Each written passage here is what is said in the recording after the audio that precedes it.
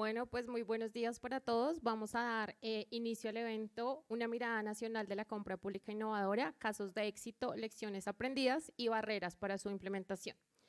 Primero que todo me presento, mi nombre es María Alejandra, yo soy gerente de innovación abierta en Connect y queremos eh, pues primero agradecerles, sabemos el tema del paro, eh, la mañana, todo, entonces mil gracias por estar acá, por, por darnos este espacio de su tiempo, contarles que este evento se enmarca en el proyecto de consultoría para el fortalecimiento del mecanismo de compra pública innovadora en el país. Esta es una iniciativa que forma parte del programa Colombia Más Competitiva, que representa un esfuerzo conjunto entre el Gobierno Nacional y la Embajada de Suiza en Colombia. Es facilitado por SwissContact y cuenta con la colaboración de diferentes entidades como el Departamento Nacional de Planeación, Impulsa, Colombia Compra Eficiente y nosotros desde Connect. Entonces, eh, a lo largo de este evento exploraremos diferentes perspectivas que les ayudarán a ustedes y a nosotros también desde este lado a entender cómo la compra pública innovadora puede ser un instrumento para fomentar la innovación en nuestro país desde las entidades públicas. De verdad que les agradecemos su presencia y la participación en este espacio y yo quiero comenzar preguntando, ¿quiénes de acá han escuchado el concepto compra pública innovadora? Levanten la mano. Súper. Entonces, la idea es que los que conocemos podamos como refinar esos conceptos y los que no nos quede súper claro. Entonces, ese es el reto del día de hoy. Entonces, para comenzar, invitamos a Claudia Sepúlveda, subdirectora de Swiss Contact y coordinadora general del programa Colombia Más Competitiva. Claudia es administradora de empresas con máster en negocios enfocado en negocios internacionales, es bilingüe, tiene amplia experiencia en formulación e implementación de políticas públicas de desarrollo empresarial, emprendimiento e innovación, así como en gestión de estrategias de desarrollo productivo regional y de articulación público-privada para el desarrollo económico sostenible e inclusivo. Mil gracias Claudia y adelante.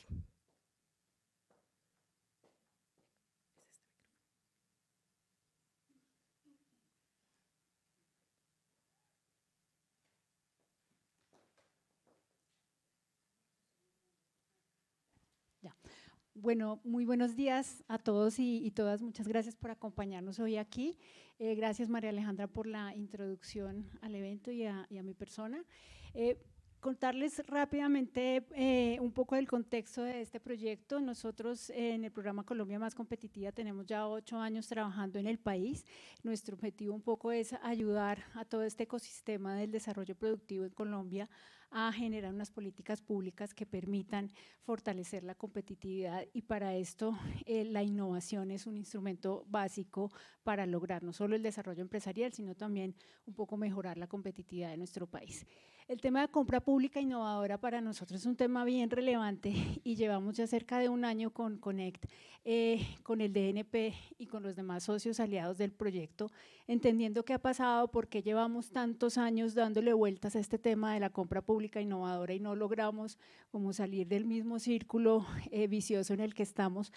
Eh, hemos estado ya durante varios meses escuchando a diferentes actores a nivel nacional, entendiendo un poco cómo las percepciones, el mismo tema de la definición, de cómo se entiende, de cómo eh, lo perciben desde los diferentes actores que intervienen en la compra pública innovadora, a ver si logramos entender un poco eh, cómo podríamos nosotros eh, no unificar, pero sí estandarizar o lograr un entendimiento común en torno a la compra pública innovadora que permita que este instrumento finalmente se dispare y tenga una dinámica mucho más activa en el país y pueda efectivamente cumplir su misión de ser un instrumento de, fomento para el desarrollo empresarial, para el desarrollo productivo y en últimas para el mejoramiento de la competitividad.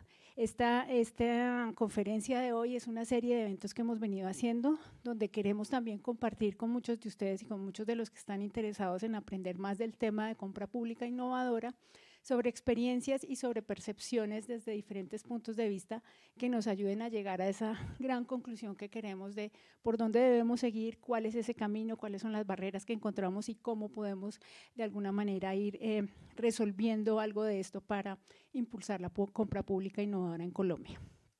Yo creo que eso en términos muy generales. Muchísimas gracias por participar y espero pues que sea muy fructífera la sesión para todos ustedes y también para el proyecto, que ya en un futuro les estaremos contando un poco de los resultados de lo que aquí eh, y de lo que en estos meses de trabajo vayamos desarrollando. Muchas gracias. Claudia, muchísimas gracias a ti. Y ahora le damos la palabra eh, a Salim Chalela, director de Innovación y Desarrollo Empresarial del Departamento Nacional de Planeación. Salim es internacionalista de la Universidad Jorge Tadeo Lozano, magíster en estudios políticos de la Pontificia Universidad Javeriana y doctor en educación de la Universidad Autónoma de Barcelona.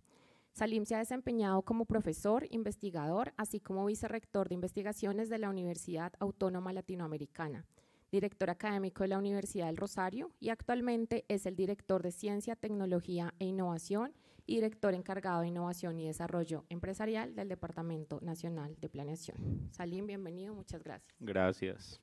Bueno, muchas gracias a todos y muy buenos días. Para mí es muy conmovedor estar aquí en la Universidad del Rosario, donde, donde pude compartir muchos espacios con muchos colegas y volver a hablar de compra pública, pues es, es bastante motivante. Primero agradecerles, Claudia, por todo el apoyo que desde Colombia Más Competitiva han dado a este proyecto, a Gabriel desde la Embajada Suiza, a Conet por, por todo el apoyo en esta consultoría y por supuesto al equipo del DNP, Laura, Cristian, Indy, Angie en su momento, que han sido determinantes en este, en este proceso. Ah, bueno, ahí estás. Eh, yo creo que es importante dejar como varios mensajes aquí. Uno es los grandes retos que tenemos en el país para hacer compras públicas de bienes y servicios innovadores.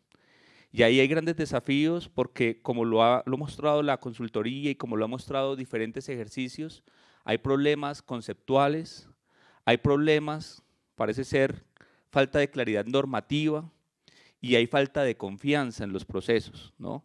Sabemos que la investigación, el desarrollo y la innovación son actividades que tienen un grado de incertidumbre bastante alto.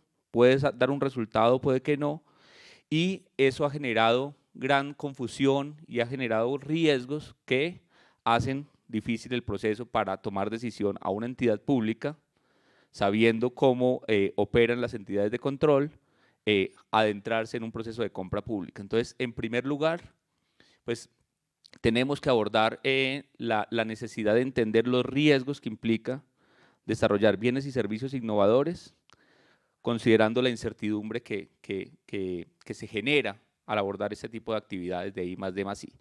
Lo segundo tiene que ver con eh, cómo desde el DNP tenemos que impulsar políticas, impulsar instrumentos de política y buscar los incentivos adecuados para que puedan implementarse este tipo de prácticas en el país. Hoy estamos viendo cómo la mayoría de los estados, la mayoría de los gobiernos en diferentes lugares el uso de la tecnología, por ejemplo, se está volviendo común y eso abre las puertas a la, transformación hacia prácticas mucho más innovadoras de gestión pública, de actividades públicas y demás. Y para ello el rol del DNP sigue siendo determinante y es fundamental a la hora de pensar la compra pública innovadora. Y precisamente por eso, desde el DNP, con Impulsa, con el apoyo que estamos teniendo en esta consultoría, pues nos estamos adentrando en la necesidad de identificar dónde y cómo diseñar los mejores instrumentos y los mejores incentivos para motivar la compra pública innovadora. Y lo tercero tiene que ver con entender el por qué en Colombia, a pesar de que existe un marco normativo y unos procedimientos hace más de 10 años, pues los casos siguen siendo muy pocos. Ha sido muy poco efectivo la implementación de la compra pública innovadora. Y yo creo que eso es parte del, del proceso que tenemos que adentrarnos y del cual nos hemos adentrado en esta consultoría, ¿no? La falta de concepciones claras o diversas, de hecho, en la denominación, ¿no? Compra pública innovadora, compra pública para la innovación, es un gran reto. El gran reto de entender qué es la innovación, ¿no? La innovación a veces parece una palabra, perdonen el término, promiscua, ¿no? Todo el mundo es innovador, todo el mundo hace innovación, todo el mundo se siente innovador. Hemos entrado en una lógica quizás light, de una cultura donde todos hacemos un pequeño ajuste en un proceso, procedimiento y ya tenemos una gran innovación. Y creo que eso ha desviado o ha desvirtuado el alcance de lo que la innovación realmente implica en servicios, en procesos, en la producción de bienes y, demás. Ahí es donde tenemos que, que plantear una mirada mucho más detallada para que, como lo decía Claudia, más allá de estandarizar, es que tengamos una concepción clara, una concepción común de qué es la innovación, qué es la compra pública innovadora y cómo las políticas, los procesos y, los instrumentos que impulsamos realmente nos van a permitir avanzar y no quedarnos estancados en una muy buena normativa, en unos muy buenos procesos a nivel estatal, pero sin una implementación clara de las entidades. Entonces, muchas gracias por acompañarnos, muchas gracias por participar, muchas gracias a los invitados externos que nos van a compartir también las experiencias desde diferentes lugares del mundo y esperemos que este sea un espacio de aprendizaje para todos los que estamos aquí. Gracias. Salim, no, muchas gracias a ti. Nos quedamos con ese, ese concepto de la innovación que, que seguramente a todos nos ha dado la, la vuelta en la cabeza. Listo, ahora entonces tengo el gusto de presentar a Carlos Sepúlveda, director del Centro de Equidad e Inclusión de la Universidad del Rosario. Carlos tiene un doctorado en Economía de la Universidad de Boston, ha ocupado cargos como subdirector y director del Departamento Nacional de Estadística de Colombia, miembro de la Comisión para la Medición de la Pobreza, el Mercado Laboral y Desigualdad de Colombia, líder general de la Mesa de Expertos sobre la Estratificación Socioeconómica y como coordinador territorial del Plan Nacional de Desarrollo 2014-2018. Es autor de varios libros académicos sobre la estratificación socioeconómica e incidencia de la política fiscal. Carlos, muchísimas gracias y adelante.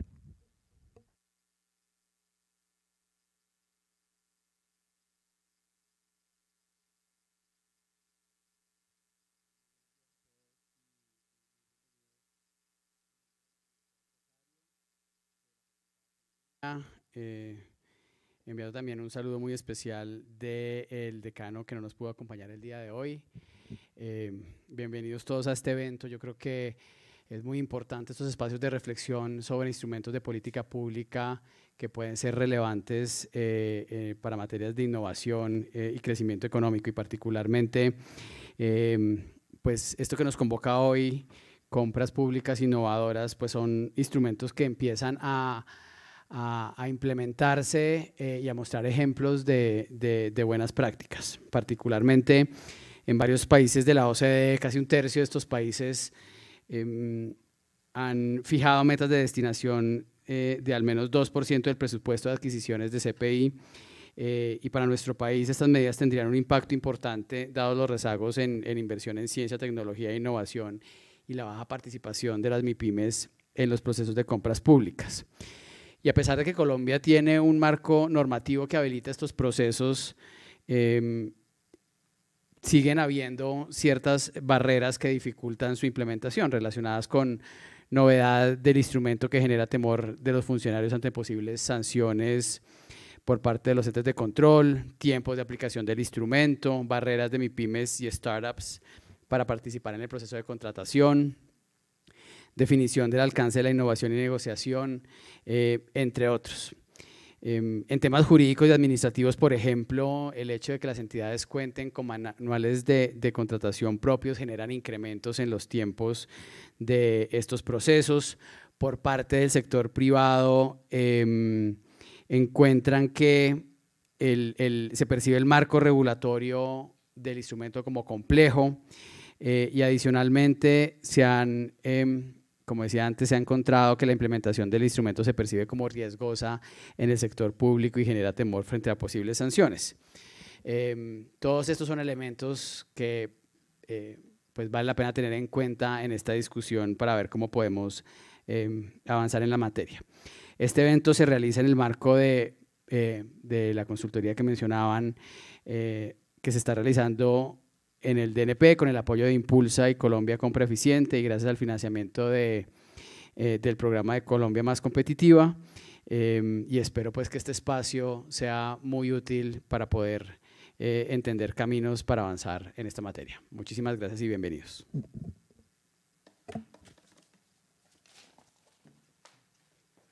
Carlos, muchísimas gracias y también darte las gracias por el espacio eh, para poder realizar este evento. Bueno, eh, vamos a seguir. Listo. A continuación vamos a dar paso a una conferencia que se titula Compra Pública Innovadora, Retos y Oportunidades en Colombia. Este espacio está a cargo del doctor Juan David Duque.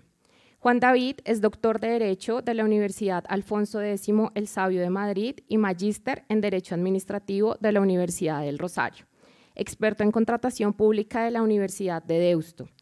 Juan David cuenta con más de 20 años de experiencia en el sector público y se ha desempeñado como director general de la Agencia Nacional de Contratación Pública Colombia Compra Eficiente, secretario general del Ministerio de Tecnologías de la Información y las Comunicaciones y de la Superintendencia de Industria y Comercio.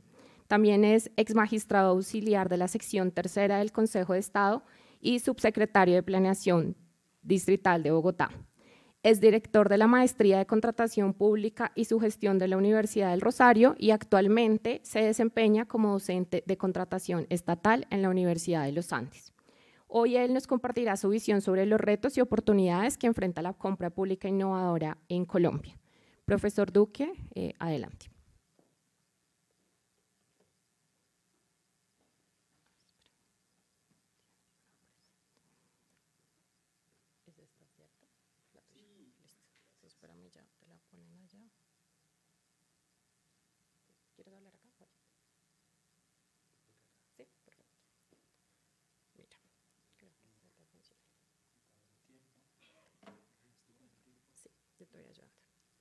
Muy, muy, buenos días para, todos. Espero que, que los conceptos hoy se aclaren un poco, tratar de tener una visión muy general de, esta dinámica eh, que, se vuelve un centro importante para, para engranar el siguiente paso eh, hacia el papel real del Estado, de cómo el Estado tiene que eh, mejorar sus servicios, estar en la actualidad de, del papel real del ciudadano, entender las necesidades de, las empresas, el impacto frente al ambiente, eh, cómo eh, la, competencia se vuelve el, momento, eh, el lugar ideal para, para, que el entorno de, de, la satisfacción de los intereses públicos se den mi paso en lo personal dentro de, mi firma eh, fue, crear un proyecto pues, de, innovación en compra pública, como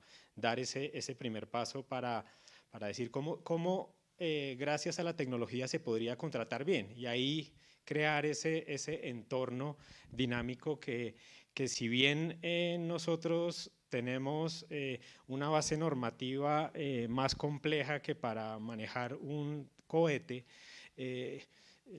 la, significancia del funcionario público y el, papel que se da dentro de las entidades, e, ese donde nace eh, realmente la compra pública, no en la norma, no en la política, no en la regulación, no en cada vez tener nuevos decretos, eh, sino pues se contrate bien. Y contratar bien eh, no es otra cosa que hacerlo como lo hacen los buenos. Y hoy podemos mirar es pues miremos cómo lo están haciendo otras entidades, miremos cómo lo están haciendo otros países, miremos cómo lo, eh, se están generando como, como los, los, ejemplos a nivel mundial eh, y ahí pues se puede ya entender muy bien eh, que, que, la tecnología vino a ayudar y entender la innovación es, es, es hacer las cosas bien y poder cuidarlas en lo jurídico, en lo técnico y en lo financiero. Es decir, uno puede transformar la compra eh, y que su, su, resultado sea, sea diferente dependiendo de los intereses eh, que, que, tenga el Estado en ese momento. Por ejemplo, generar mayor competencia, que nos, nos, va a interesar que, que cómo las MIPIMES participen más. Pues contratar entonces con MIPIMES también se vuelve un riesgo desde el punto de vista financiero. Pues contratar con alguien pequeño me genera riesgos. Tengo que ver cómo los pequeños pueden entrar a contratar, pero entonces los grandes van a decir, pero ¿por qué va a contratar solo con pequeños? Eh, ahí es donde el, sistema empieza a flaquear y desde el punto de vista jurídico es complejísimo, porque nos dijeron en la contratación pública, no, la contratación no se puede fraccionar. Yo digo que sí se puede fraccionar. Se puede fraccionar las veces que uno quiera, dependiendo de los resultados que uno quiera dar. Y, tenemos ya ejemplos en las zonas exclusivas eh, económicas de las concesiones de, de, del servicio de aseo, por ejemplo, yo puedo separar la, ciudad en seis.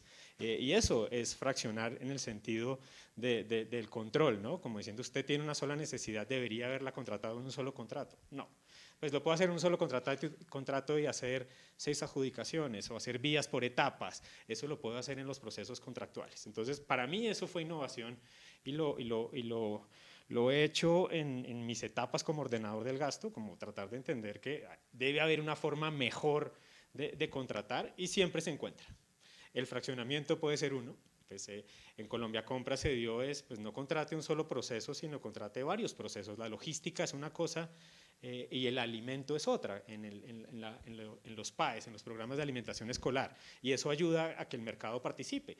Eh, si soy una gran empresa y quiero vender yogures, pues el problema no es vender yogures, sino repartirlos. Pero si no los voy a repartir, seguramente el negocio va a ser bueno. Eh, y esa intención es lo que, lo que se quiere dar como en los primeros pasos de, de innovación.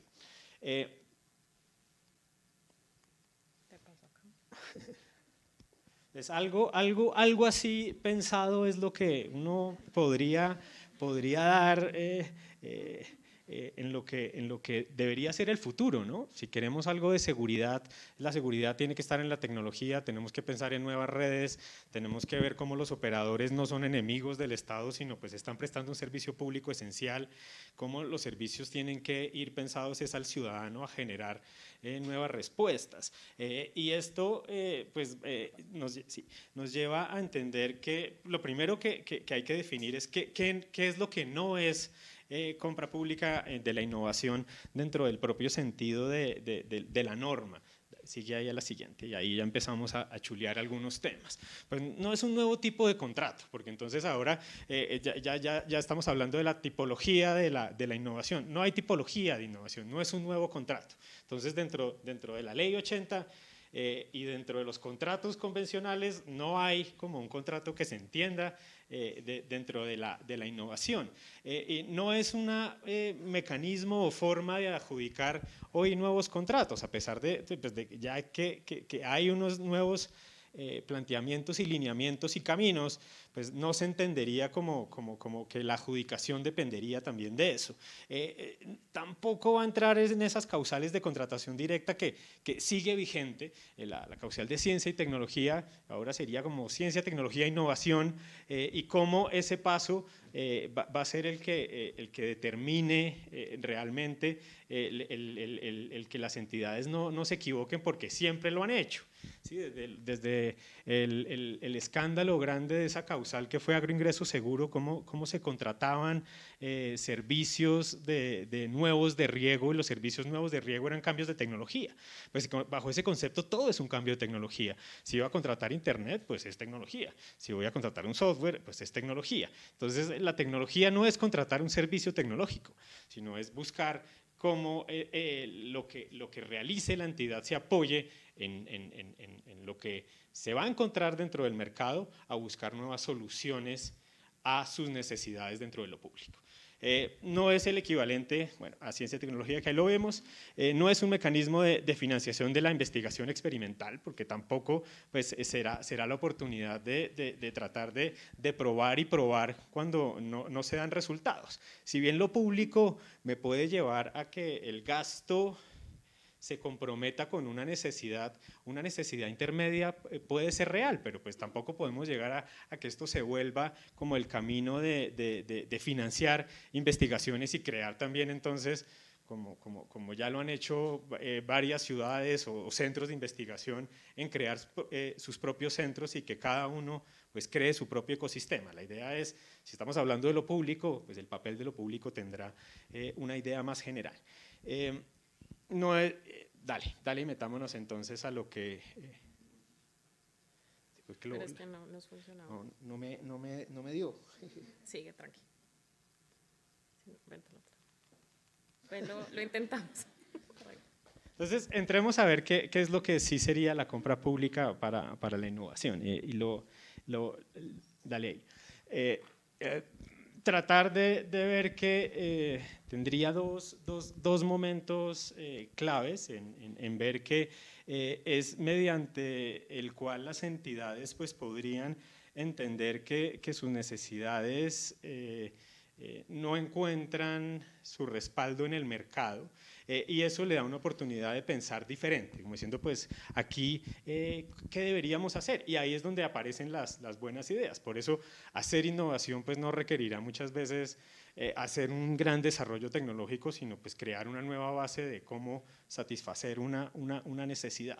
Por ejemplo, cuando, cuando estuve en la SIC, teníamos la, la necesidad de crear unos centros locales, 20 centros locales, 20 centros de atención al consumidor en las ciudades, pero no sabíamos en qué ciudades. Entonces el superintendente me dijo, quiero contratos de obra, pero todavía no sé dónde. Hicimos un proceso entonces previo, era 20 ciudades, sabíamos entre cuáles podrían ser, sabíamos cuáles podrían decir, pero si lo mirábamos desde el punto de vista de, del contrato de obra no se hubiera cumplido con es el estricto rigor legal, pero daba la oportunidad de determinar el lugar. El lugar no era determinado, pero determinable. Y eso ayuda a que, a que eso, esos, esas ideas pues planteen nuevas, nuevas soluciones. También podría darse entonces que, que la respuesta eh, eh, pues, eh, genere nuevos espacios, que eso lo hicimos en, Colombia compra una vez, pues sentémonos con las grandes empresas. ¿Cómo voy a saber qué quieren las grandes, las grandes empresas de alimentos y por qué no participan? ¿Por qué no participa Ramo? ¿Por qué no participa Alpina? ¿Por qué no participa eh, Alquería? Pues sentémonos con ellos. Y se hace de una forma abierta y libre. Digamos, el nombre en, Europa, en España, es, es, el contrato negociado. Suena feo, pero pues eh, así es. El contrato hay que negociarse. Los contratos del Estado hoy no son negociados, son impuestos. ¿Por qué? Porque la entidad dice cómo es y el, empresario pues tiene que hoy eh, someterse a lo que digan y, cada día traerá su afán. Ganémonos la licitación y después miremos cómo la ejecutamos. Porque hoy tenemos unos maravillosos licitadores, pero unos pésimos contratistas, es decir, malos ejecutores. Y ahí eh, eh, se da también un grave problema en el manejo. Mm, eh, me puede también dar lugar para el estudio de muchas alternativas. Es decir, los caminos son ilimitados. Yo puedo descentralizar, centralizar, fraccionar, centralizar. El concepto eh, hoy eh, a nivel mundial es el global.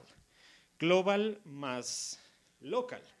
Lo que es global, pues, cómpralo directo. ¿Para qué, ¿Para qué te complicas la vida? Hasta puedes hacer acuerdos directos con empresas. ¿Qué tengo que hacer yo con Microsoft? Tengo el correo de Microsoft, tengo nube de Microsoft, tengo desarrollo de Microsoft. ¿Microsoft tiene competencia? Sí. ¿Vas a cambiarlo? Pues no, me, sale más costoso. Hasta una contratación directa tiene la justificación en, esto, en este camino. Hay un monopolio natural de una situación de que necesito licencias, tengo unos computadores de licencias y tienen que tener licencia para poder trabajar. E, e, eso crea unas relaciones que, que ya son eh, sin abrir la necesidad de crear competencias. Y hay situaciones que no puedo contratar. Piénsalos entonces en grandes, grandes empresas, grandes competidores. Y lo que no, mándalo para abajo, que sea local.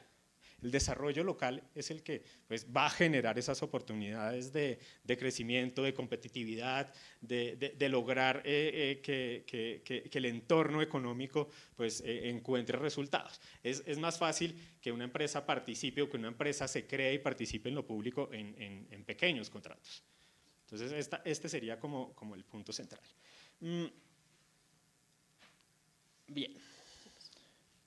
Las entidades estatales que adelantan la, compra eh, para la innovación en la etapa de planeación y su base en el estudio del sector. Pues aquí es, es, entender que es la visión que debe tener la entidad. Por eso digo que, que son las entidades. Las entidades son las que tienen que empezar a cumplir. Un buen manual hace que, que tengan una, una, buena ruta.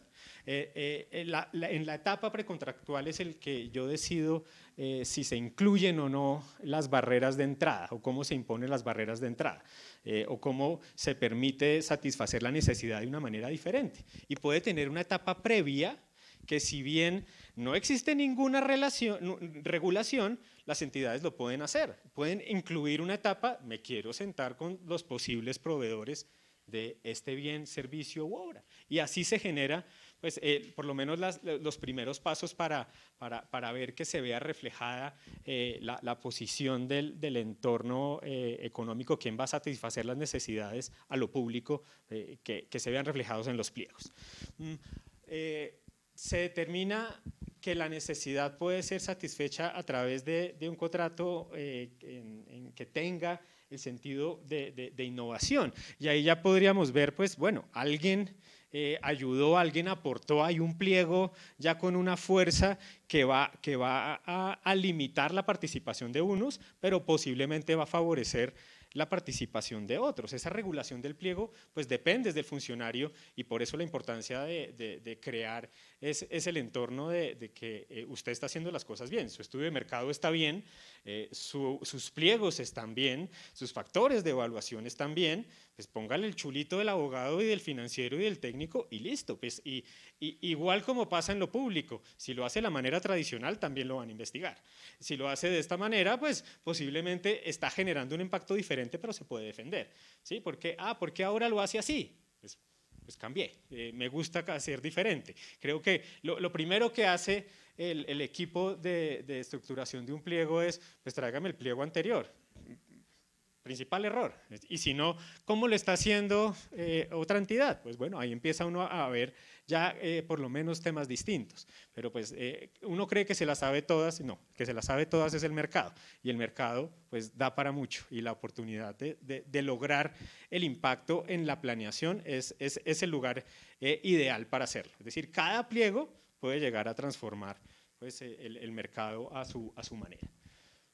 Mm, si existen soluciones en el mercado, se requieren ajustes para la satisfacción de necesidades o si existe una solución y es necesario generar una completamente nueva. Digamos, esta pues da, para que se interprete de buena manera, porque cada situación va a ser que yo la pueda ver bajo el foco de, que todo es diferente, tampoco es el, el filtro de la innovación total porque de esa manera pues voy a, voy a lograr que el, impacto que quiere dar la norma es, distinto. ¿sí? Aquí lo que,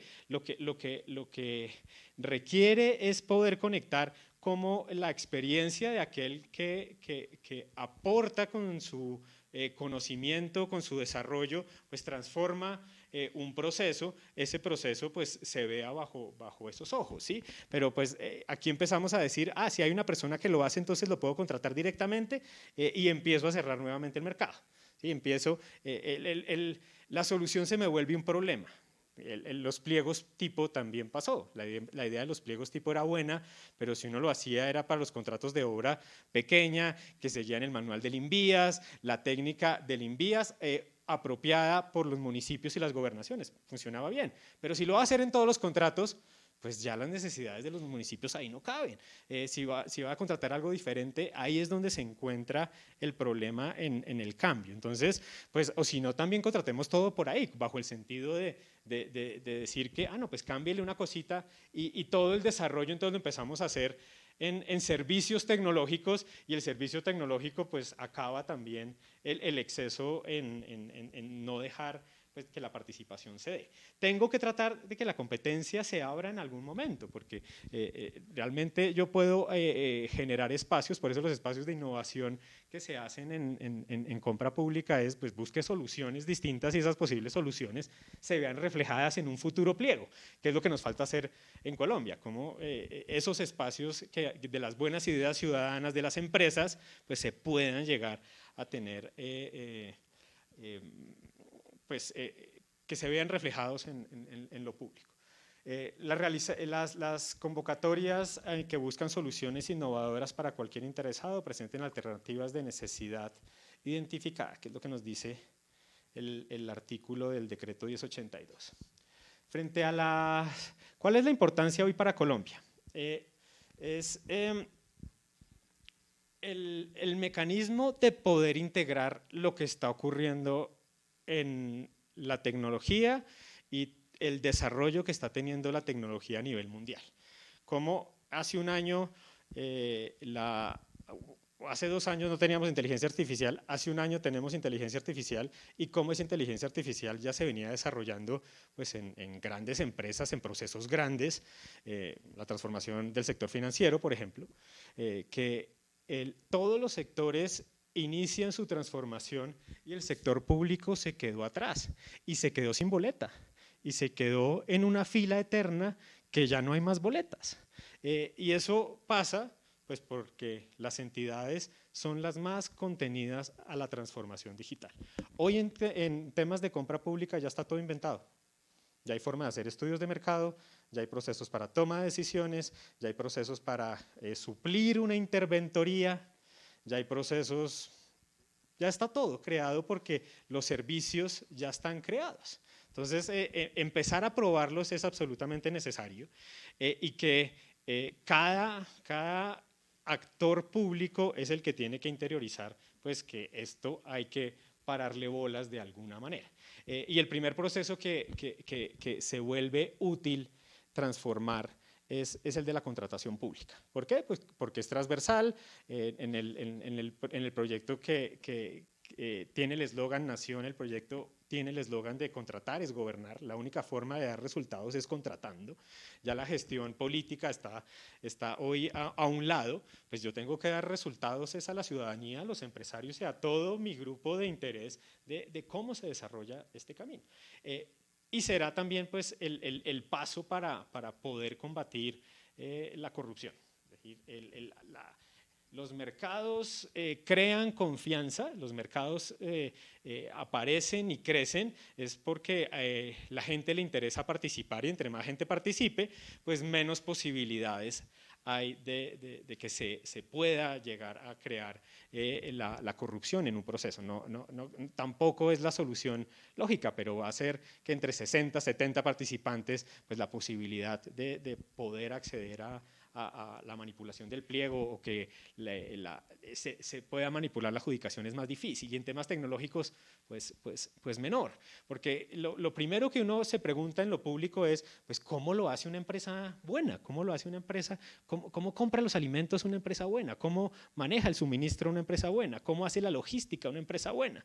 Eh, y, y si ya no hablamos de empresas buenas, porque ya tenemos la información de poder consultar gracias a todo el desarrollo del GovTech, puedo acceder a toda la información de las agencias de contratación de todos los países del mundo, puedo ver cómo han tenido ejemplos exitosos, eh, ahí es donde la importancia de la evolución de nuestra revolución digital en Colombia puede tener eh, éxito en la compra pública y ser como el, dinamizador de esta tarea.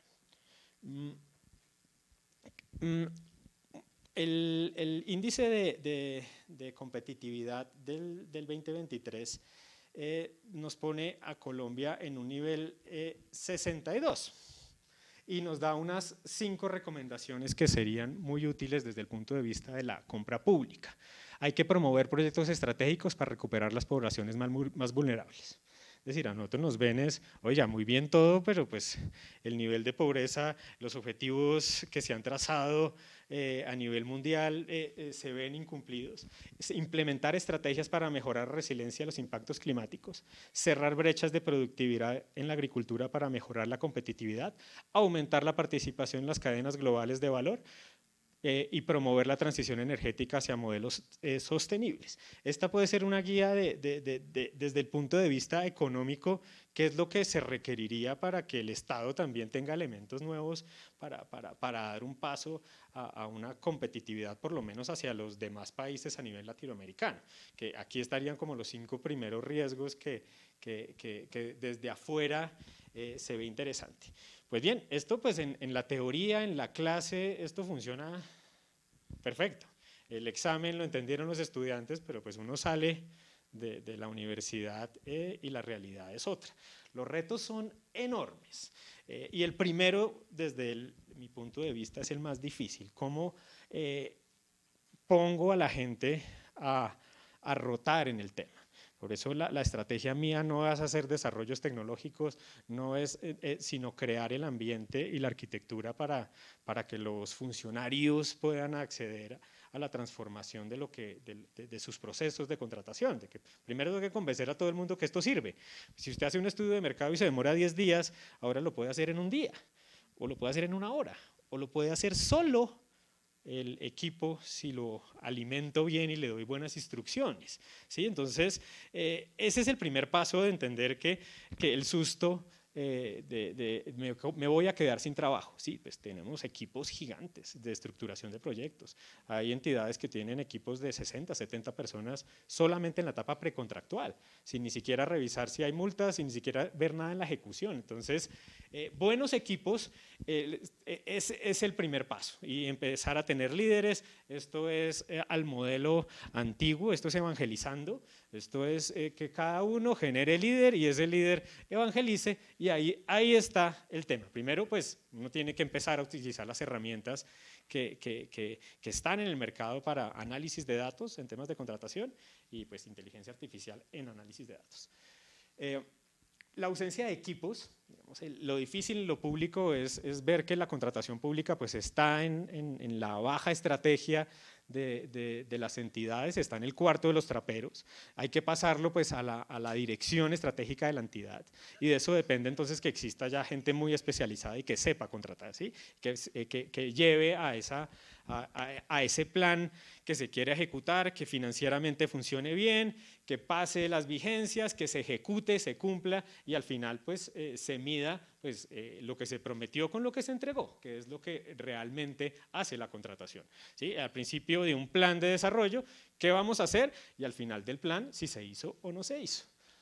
Eh, el miedo al fracaso, la resistencia al cambio va a ser el, reto más, complejo, pues tenemos una normatividad que, desde mi punto de vista ya no es el problema, sino pues son las entidades. El manual de las entidades va a ser el que va a brotar y que va a generar pues, e, ese cambio que cada vez pues, se, vuelve, se vuelve paulatino. Lo que hace los cambios es que tiene pues buenas olas, tiene momentos complejos, hay gobiernos que le meten la ficha, hay otros que les meten el freno de mano, eh, lo mismo alcaldías, lo mismo departamentos, y ahí se van a ver casos de éxito y que se puedan llegar a, mostrar.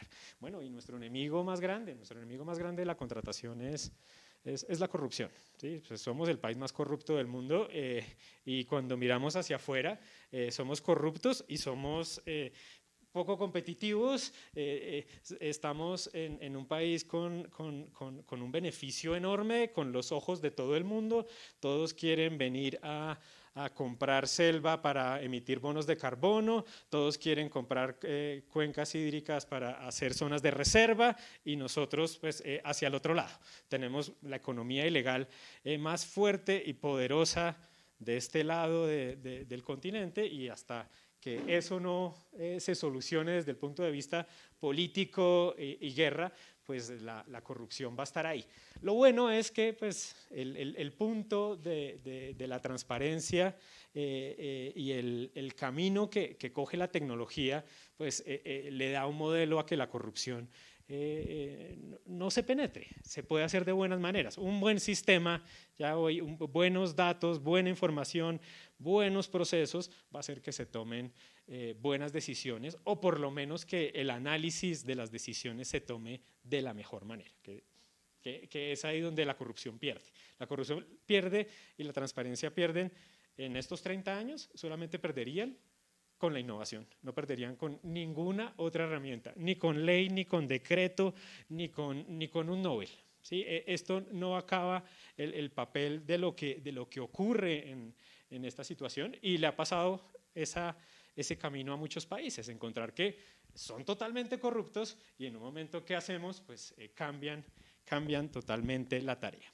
Hay un, hay un ejemplo eh, eh, bien interesante que está haciendo hoy em, Puerto Rico.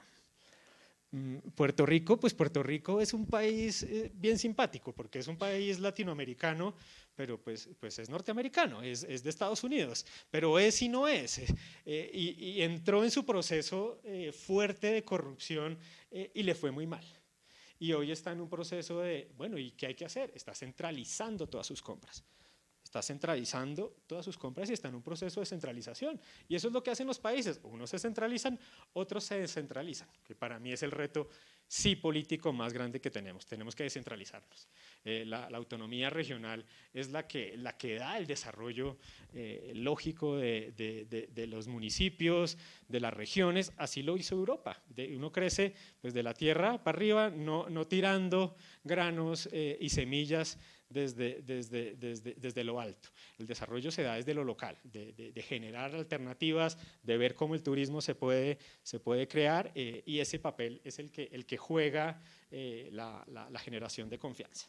Y esto pues es, cíclico, ¿no? Pues este, eh, en un momento son los profesores por las calculadoras, hace el año pasado eran los guionistas de, de, las películas en, en, California, de decir, bueno, ¿hasta dónde la tecnología nos va, nos va, nos va a rinconar? Cuando los profesores se dieron cuenta que, que esto eran herramientas para mejorar la clase y para mejorar su tarea, eh, se entiende diferente, ¿no? Las herramientas no van a cambiar lo que hace el ser humano, son simplemente herramientas. Y entre mejor las usemos, pues eh, ahí está el papel lógico de la, de la innovación. Oportunidades que tengamos en, Colombia, yo creo que todas, porque si bien entonces eh, eh, somos un país centralizado donde el, municipio es el que, el que tiene que empezar a pedalear, pues todos los municipios deberían empezar a pedalear hacia, hacia, hacia ese camino.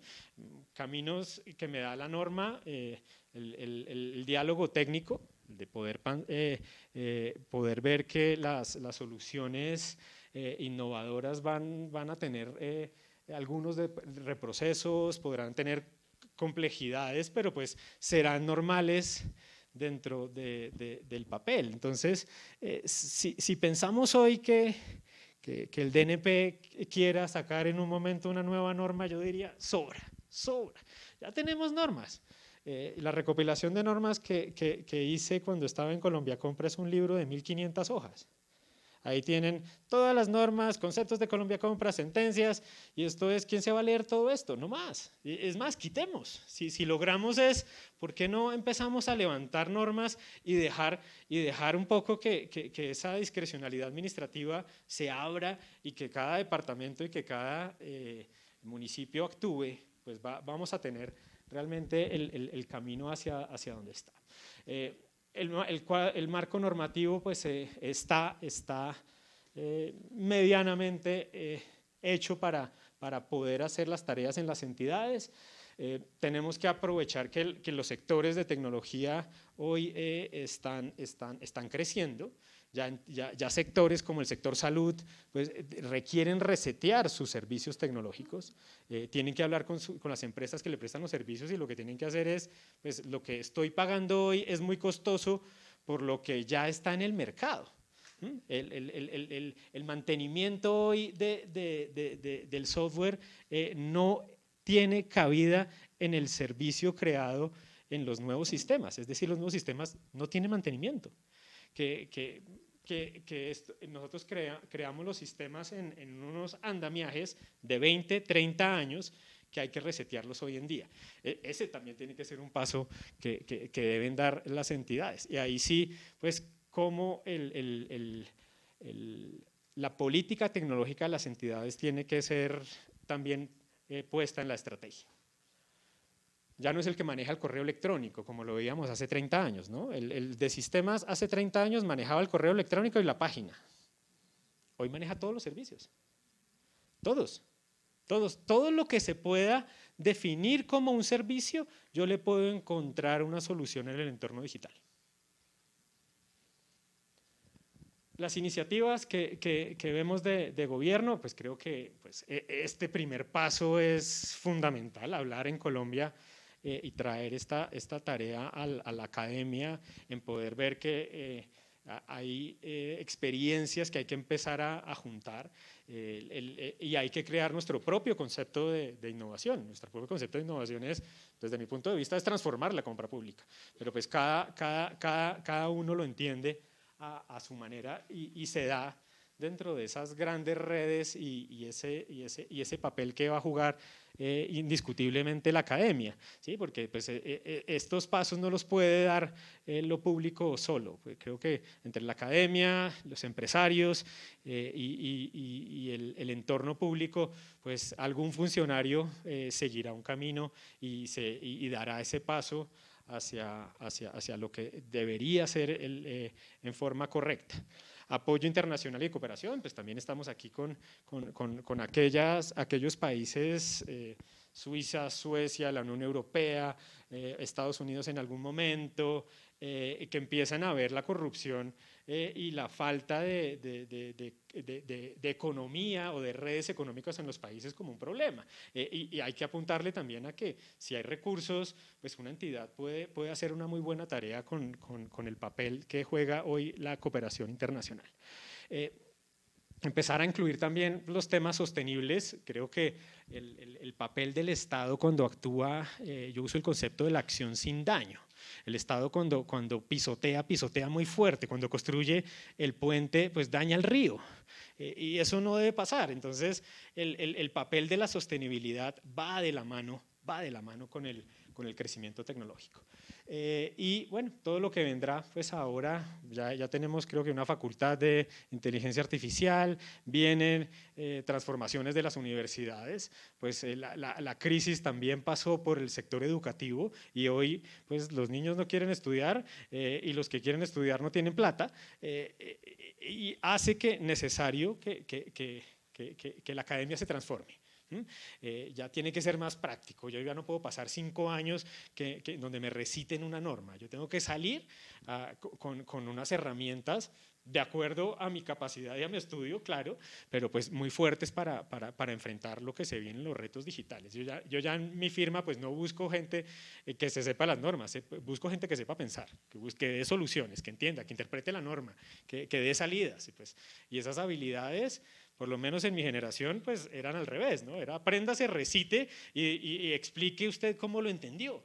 No, hoy ha cambiado, hoy ha cambiado y, va a seguir cambiando mientras, mientras se vaya dando esa evolución de, del cambio de la inteligencia artificial y cómo, cómo va creciendo. Eh, vamos a ver que pues ya, si la información ya la tengo, hoy, hoy lo importante es saber cómo la presento, cómo la explico, o cómo la traduzco, o cómo la desmenuzo, o cómo la utilizo. Y esa sería como la, los retos que nos podrían ocurrir en estos años que vienen. Y con eso termino. Muchísimas gracias.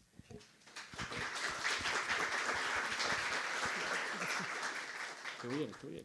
Estuvo bien, sí. Súper, muchísimas gracias, Juan. Vamos a dar un espacio para preguntas. Nos quedamos con varias cositas. Entonces, de pronto, ¿alguien del público tiene eh, alguna pregunta?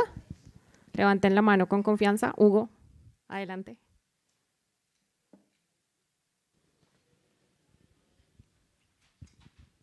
Gracias. Eh, buenos días a todos y todas. Eh, una pregunta muy puntual porque es que antes estuve desde el rol, por ejemplo, donde incentivaba temas de compras públicas de innovación en, en, pues, en, entidades públicas y ahora estoy desde el otro rol y es cómo aplicar la compra pública innovadora en, en entidades públicas.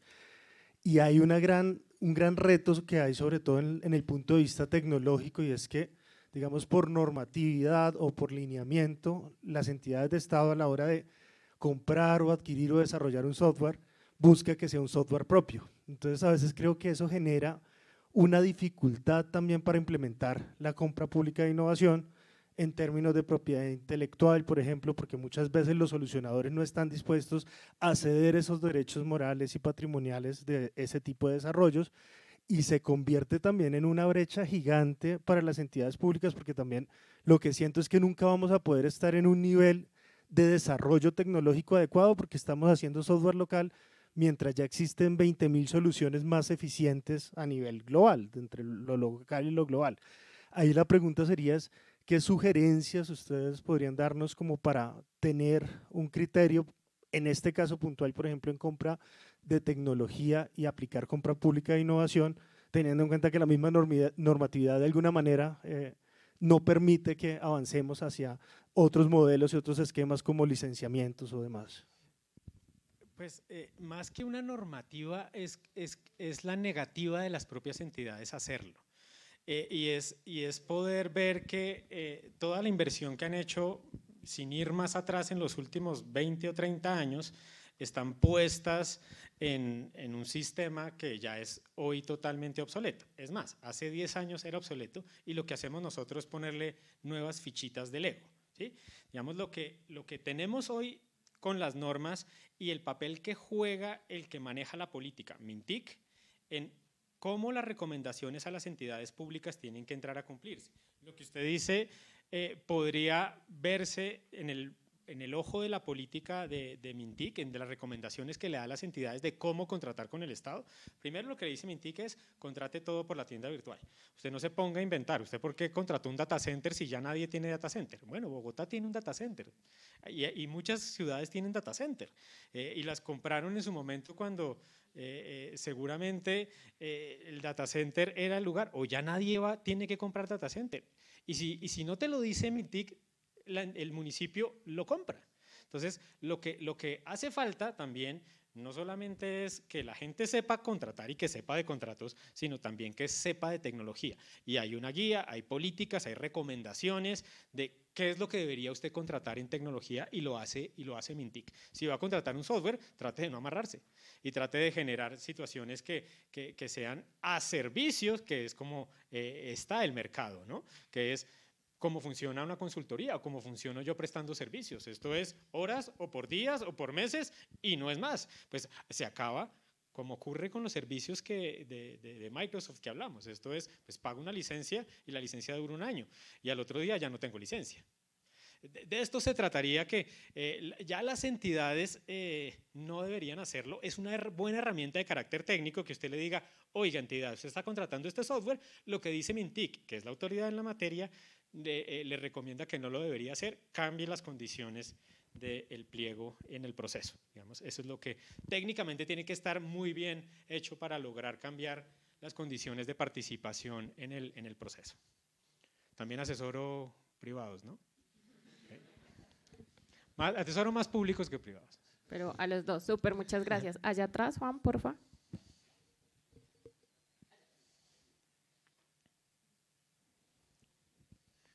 Eh, buenas tardes, eh, buenos días, perdón. Eh, bajo este marco y la pregunta un poco que hacía el compañero, ¿cuál es la posibilidad o cómo deben afrontar las entidades para hacer un verdadero cambio hacia la compra pública e innovación, pensando, no solo pensando en el determinismo tecnológico que puede llegar a ser la implementación de soluciones tecnológicas o este tipo, sino pensar en unos verdaderos cambios de innovación dentro de las entidades públicas, pensar qué más esa adversión al riesgo que se tienen en la contratación y cómo eh, las entidades pueden llegar a pensar en verdad de una forma innovadora dentro de sus procesos y no solo quedándose pensando en un determinismo tecnológico o en un aspecto que sea meramente como que creemos que es innovación, pero al final no lo es.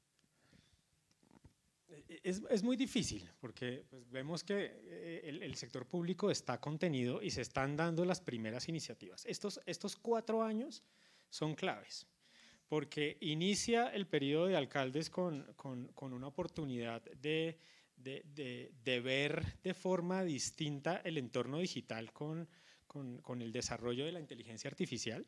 Es decir, entidad que no se transforme en cuatro años y mira para atrás, va a quedar como si estuviera en los ochentas, como si hubiera un juzgado de, que tenga todas las los expedientes, que así me tocó cuando estuve en el Consejo de Estado, expedientes y expedientes y expedientes. Eh, hoy puede hacer uno mm, no solamente el expediente, sino que se revise y no solamente que puedo hacer que se analice y que me saque las ideas principales y que me revise esto con teorías jurídicas de Norteamérica, de Europa y ya puedo tomar una decisión. Le toca es a uno. ¿Sí? Esto es, pues, eh, cada enfrentamiento, pues, liderazgos públicos como el que tenemos acá de los equipos del DNP, pues, que vayan creciendo y que vayan dando en, esa lógica. No lo entiende todo el mundo, ¿sí? Pues por eso eh, eh, vemos que hay empresarios de innovación, hay funcionarios de, de, públicos que quieren transformarse, que son los primeros que deberían dar, ese paso, como desde, desde abajo. ¿Sí? Cada entidad tiene que decir, oiga, pues afuera está pasando esto, creo que es el momento de entrar a cambiar. ¿Qué, va a pasar con la, con la por ejemplo, con, con el Internet rural.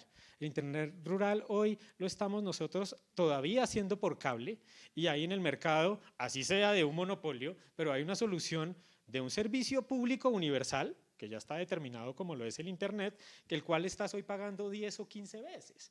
Este es el mismo ejemplo cuando ocurrió el, el, cambio entre el telégrafo y el teléfono, o como ocurrió con la energía eh, pública a base de carbón a pasarla a gas. Yo le dije al del carbón, ya no quiero más carbón, se está, es contaminante, la gente se está enfermando, quiero gas. Trae otros problemas, pero ese contrato tengo que terminarlo, que son los cambios que se dan desde el punto de vista público eh, al observar eh, lo que está ocurriendo en el mercado. A la medida que se vaya eh, creciendo, es decir, hay que participar en los procesos y hay que presentar observaciones, hay que pelear en las licitaciones y hay que hacer caer en cuenta a las buenas y a las malas pues que esto tiene otro camino y puede ser más económico, puede llegar a ser más barato.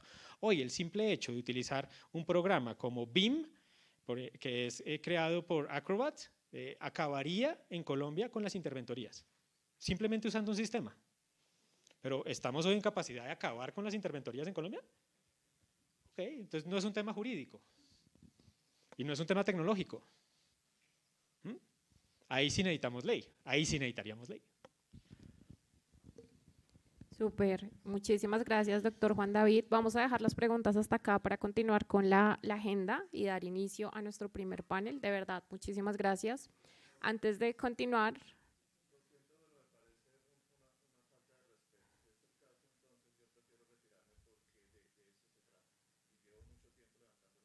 Bueno, si quieres, entonces eh, adelante con tu pregunta, no hay ningún problema.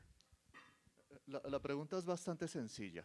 Yo tengo una empresa de inteligencia artificial y, obvias razones, es una empresa, comillas, pequeña, ya que casi no tiene activos, pero de gran valoración. Y el asunto es que técnicamente no me es factible ni siquiera postularme a compra pública porque no voy a cumplir los requisitos. Entonces, ¿cómo el Estado va a cambiar si no puede contratar a las empresas que realizan estas actividades? Pues eh, siendo bueno. Y la firma, la misma forma que lo hago yo. Yo trabajo con entidades públicas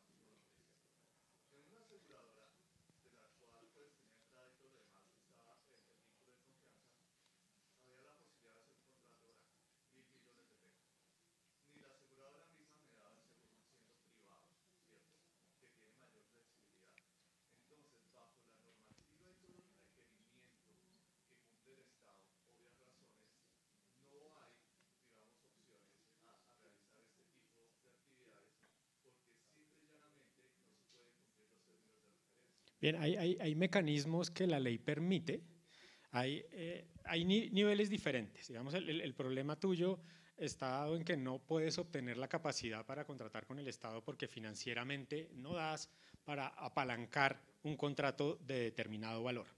Hay varias salidas. Buscar un aliado estratégico, puedes hacer un consorcio, una unión temporal, o buscar eh, la forma que alguien sea el ancla de ese, de ese, de ese contrato y hacer parte de equipos.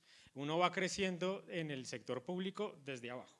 En estos cinco años eh, he crecido pues, más, más, más contratos de distintos niveles.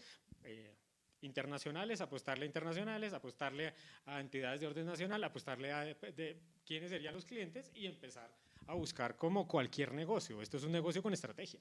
Y el negocio con estrategia, pues uno tiene que llegar hasta el momento de, ver cuáles son los, inconvenientes. Aquí es, es, eh, tú tienes una, hay una barrera de entrada contigo. Y esa barrera de entrada tiene mecanismos de poder eh, pasarla gracias a lo que dice la norma. Si yo no, te, yo no tengo ni RUT, es decir, yo no participo en ningún proceso, yo, solamente hago contrataciones directas porque hago asesoría. Y si, y si vemos que ese servicio tuyo se vuelve un servicio, muchas veces hasta contrataciones directas pueden llegar a darse en, en, en este sector. Para mí me mejor que me contrataran como asesor que como desarrollador. ¿sí? Es decir, eh, por eso digo que el, rol que habría que fortalecer es el del otro lado, no el del empresario, sino los jefes de sistemas. Y el jefe de sistemas, pues, eh, está eh, por debajo de la contratación pública. Y recuerden que la contratación pública estaba en el cuarto con los traperos y con los baldes. Entonces, este está por debajo. Eh, y hay que nivelarlos. Hoy, hoy serían los más estratégicos desde el punto de vista de, la ejecución de un proyecto público. El tecnológico y el de contratación deberían estar al lado del representante legal. Listo, muchísimas gracias. Ahora sí vamos a, continuar. Queremos, eh, antes de que nada, darle gracias a la Universidad del Rosario por facilitarnos el espacio para poder realizar este evento. Y vamos a dar inicio a nuestro primer panel titulado Propiedad intelectual e incentivos para fomentar la compra pública innovadora con la introducción por parte de Cristian Mejía Nieto, quien es asesor propiedad intelectual en el Departamento Nacional de Planeación. Cristian es abogado de la Universidad Nacional de Colombia y magíster en Derecho Privado Económico de la misma universidad.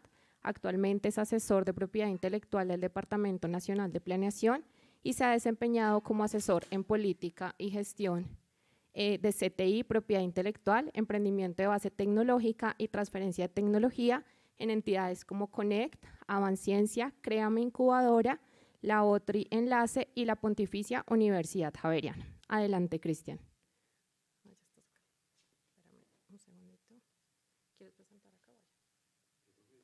Sí, ya, ya te la paso. Sí, esta es la tuya, ¿cierto? Espera que ya me la pongan desde arriba.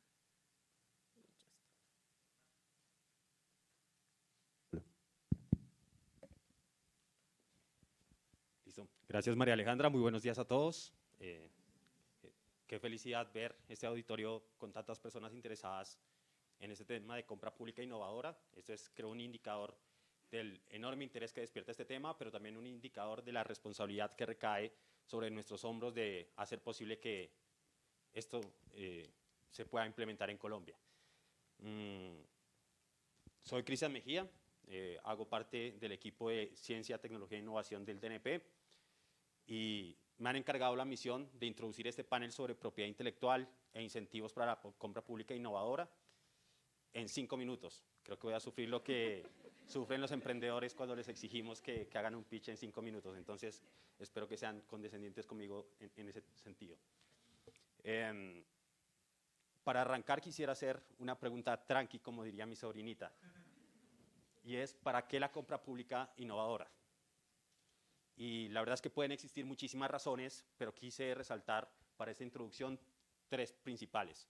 La primera es para resolver desafíos públicos a partir del diálogo técnico y soluciones basadas en I+D, que además de resolver la necesidad de la entidad pública, también puedan irradiar o generar derrames de conocimiento e innovación hacia otros sectores o segmentos distintos al alcance de la misma entidad pública. Una segunda razón importante es promover la inversión en investigación y desarrollo tecnológico, no solo desde el sector público, sino también desde el sector privado. Si el Estado se mete la mano al bolsillo para invertir en investigación y desarrollo, para desarrollar soluciones que no están en el mercado, seguramente el privado también va a querer hacerlo. Y eso va a promover eh, un aumento en esa inversión general en I+.D. que necesitamos en el país. Y en tercer lugar, para fomentar la construcción colectiva de soluciones. Un proceso de compra pública innovadora generalmente implica procesos de innovación abierta. Eh, en un escenario ideal, eh, sería genial encontrar un solo solucionador que resuelva un desafío de una entidad pública bajo un esquema de compra pública innovadora. Pero en la realidad se necesitan muchas veces empresas, unidades de I+.D., centros de investigación y desarrollo, universidades que puedan confluir para desarrollar esas soluciones. Y en ese sentido, estos procesos de compra pública innovadora fomentan esta colaboración para la generación de soluciones. Teniendo en cuenta eso, parecería que está muy claro el panorama en cuanto a los propósitos. Sin embargo, pues no, no, podemos mentirnos tampoco y como ya lo han manifestado anteriormente en esta sesión, existen grandes retos para la implementación de la compra pública innovadora.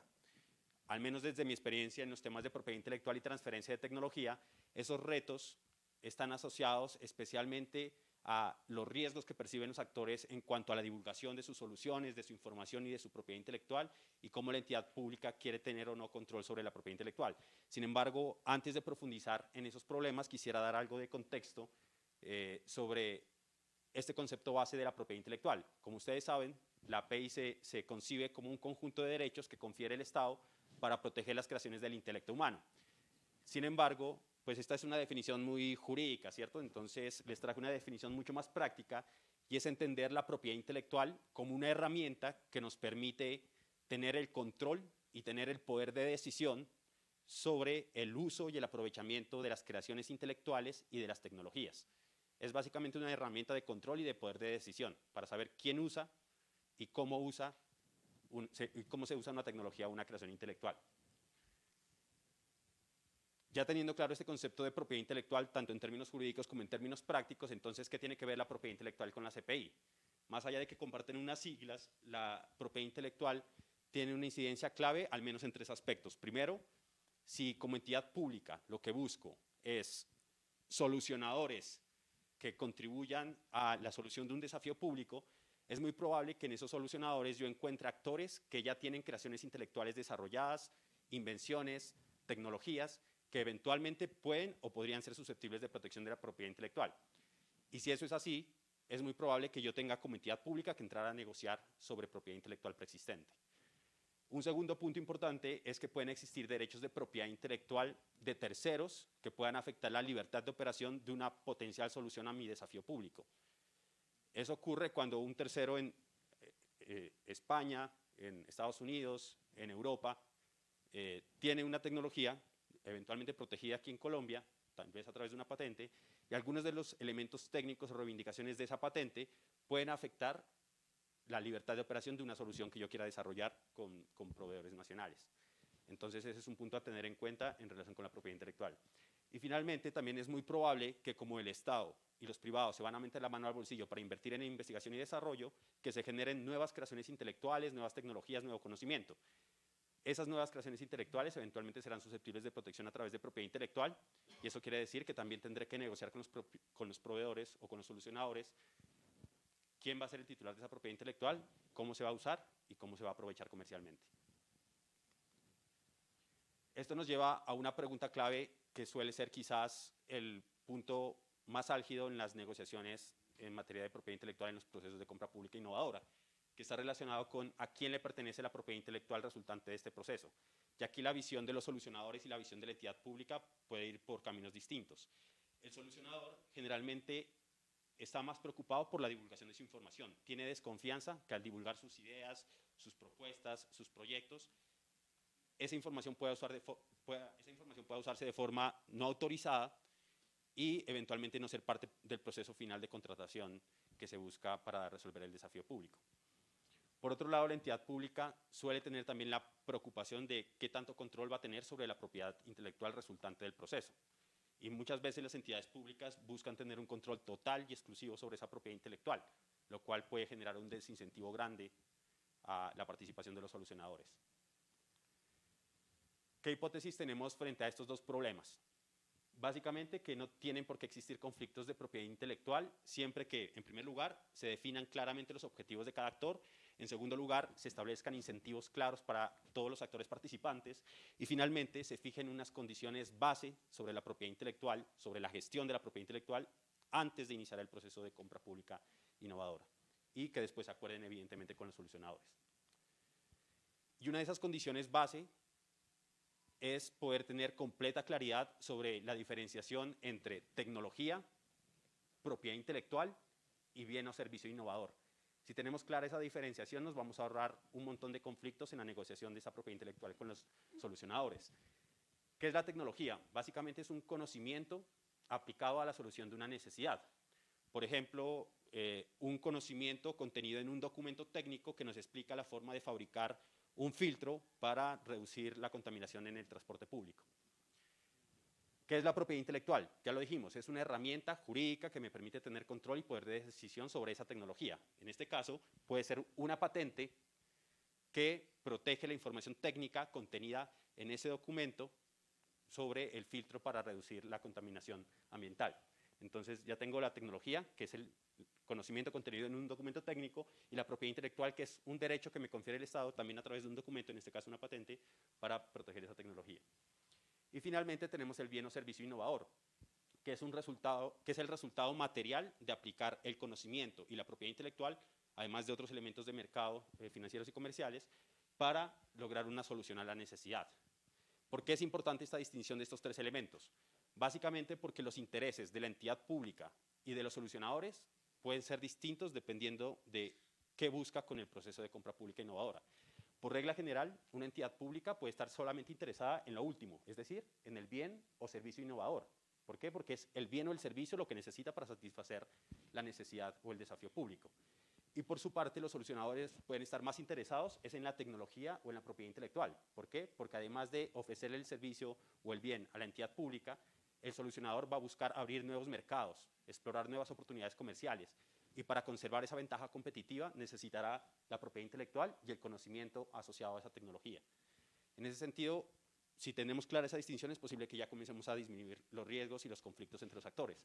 Sin embargo, de acuerdo con una de las preguntas que hacía uno de nuestros colegas, también es cierto que puede que la entidad pública no solo quiera suministrar el, suministro del bien o servicio, también puede requerir eh, acceder al conocimiento para poder actualizar, ajustar o mantener la tecnología. Es muy claro en el caso del software. Puede que reciba el bien o el servicio, en este caso el software, pero necesite también adquirir el conocimiento, el código fuente para poder actualizarlo, modificarlo, eh, mejorarlo. Si eso es así, no necesariamente debe tener un control total exclusivo sobre esa propiedad intelectual. Puede pedirle al, solucionador una licencia no exclusiva, sin limitaciones territoriales ni temporales, y permitir así, por un lado, que su equipo tenga acceso al conocimiento, pero al mismo tiempo permitir que el solucionador comercialice o busque nuevas oportunidades de negocio por fuera de la demanda que le genera pues, la misma entidad pública.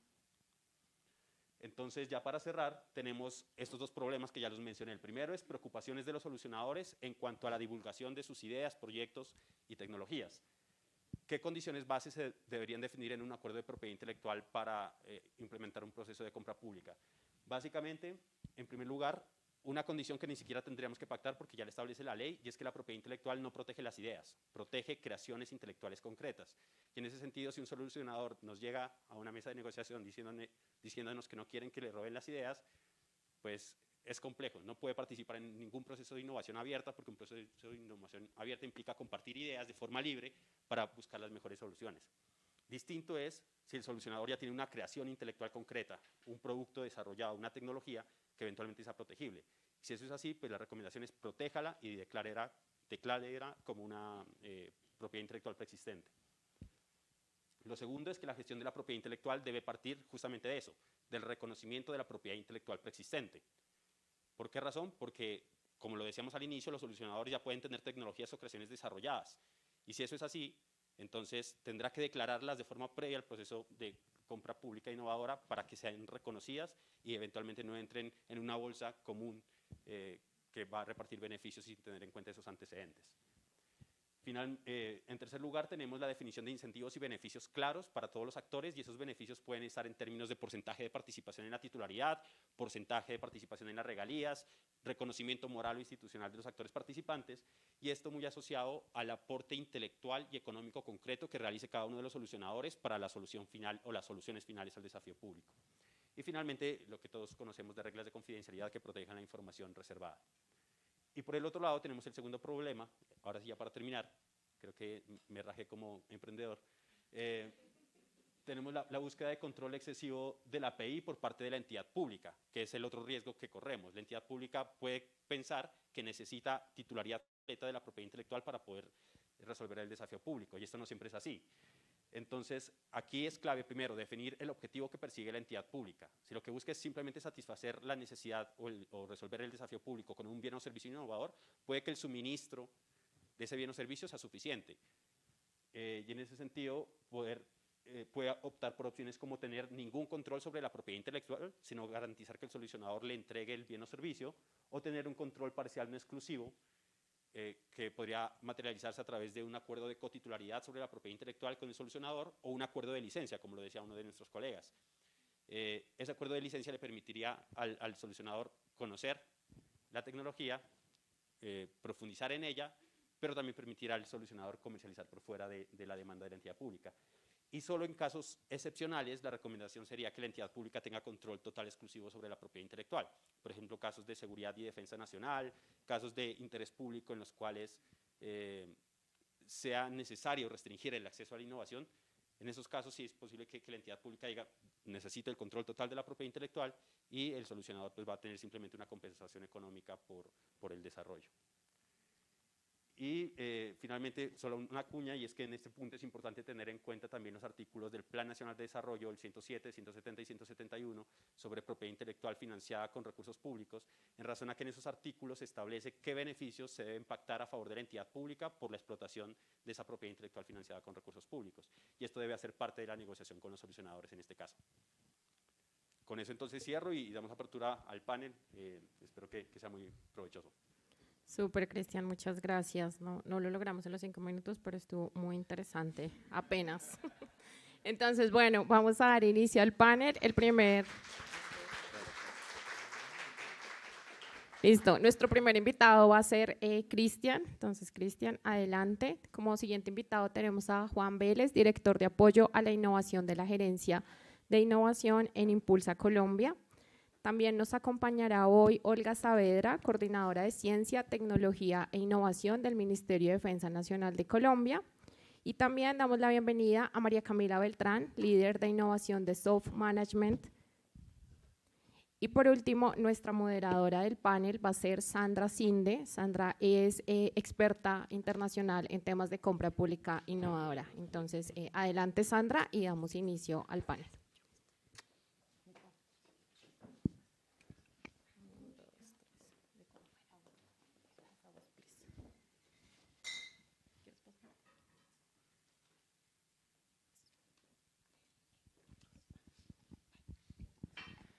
Vale.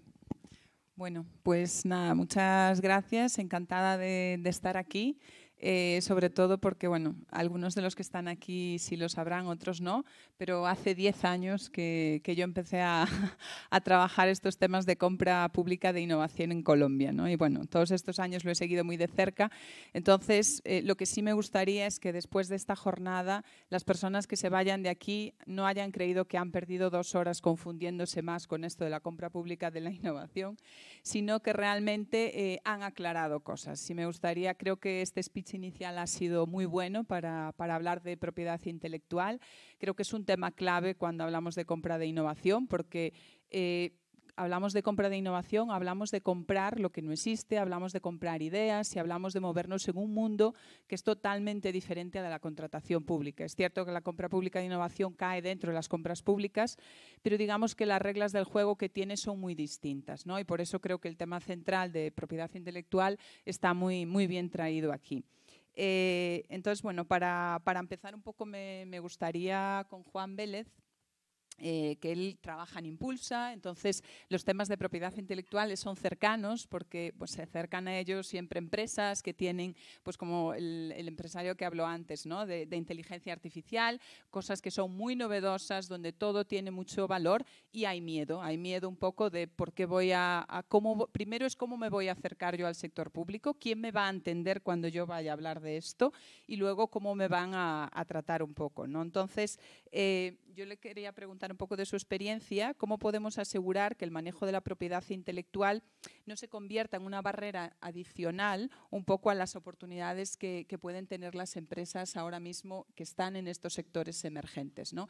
Y si conoces pues, algún caso que nos pueda ilustrar de alguna empresa que realmente le haya supuesto una, ventaja eh, introducirse en estos procesos de compra pública de innovación y realmente eh, ver que, que no ha sido lesivo, sino todo lo contrario, que ha sido una oportunidad para, para ellos.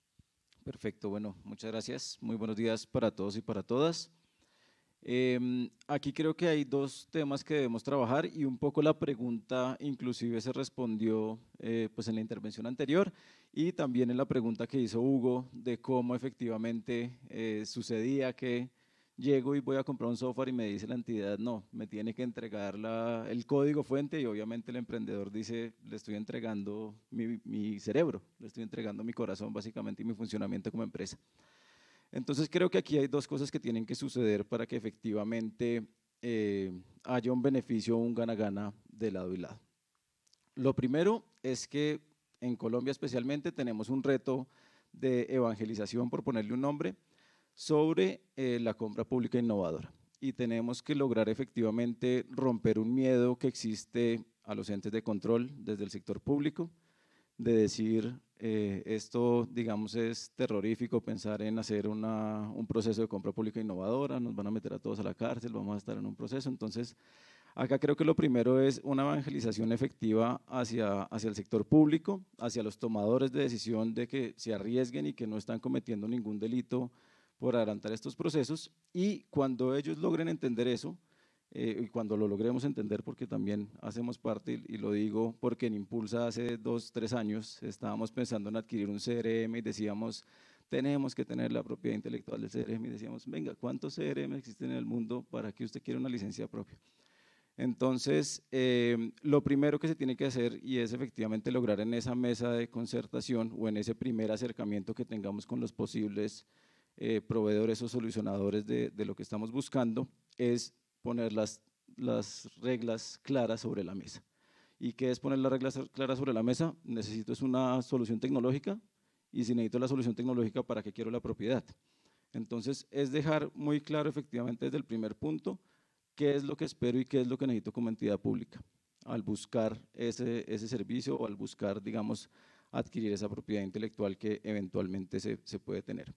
Y lo segundo, que los emprendedores y las empresas también entiendan que eh, existen uso de licenciamiento de esta propiedad intelectual, eh, que existe una eventual entrega de esa propiedad en casos de seguridad nacional, porque, pues, por ejemplo, acá eh, con Olga, que, tiene pues, a cargo ciertos temas en el Ministerio de Defensa, obviamente hay cosas que, que, exceden, digamos, esa posibilidad y que sí o sí pues, se debe entregar eso porque afecta a la seguridad de todos.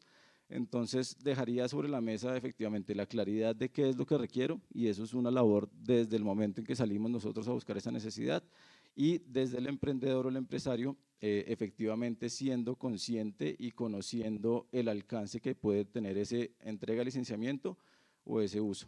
Ahorita hay dos ejemplos que podemos mencionar eh, de algún trabajo que hemos adelantado desde Impulsa Colombia y es eh, con el Ministerio de Justicia. Actualmente, de hecho, estamos en un reto para, eh, y aquí tenemos a nuestros solucionadores, eh, a Soft Management, eh, para que efectivamente mejoremos un proceso de otorgamiento licenciamiento del uso, de, cultivo y producción del cannabis, y que hoy en día como funcionaba tenía mil retos, tenía que entrar yo, llegar como ciudadano y entrar ahí a hacer una solicitud acá, después irme con esa solicitud, ir a otro lado, ir a otro lado, ir a otro lado, bueno, mil vueltas para al final obtener una licencia.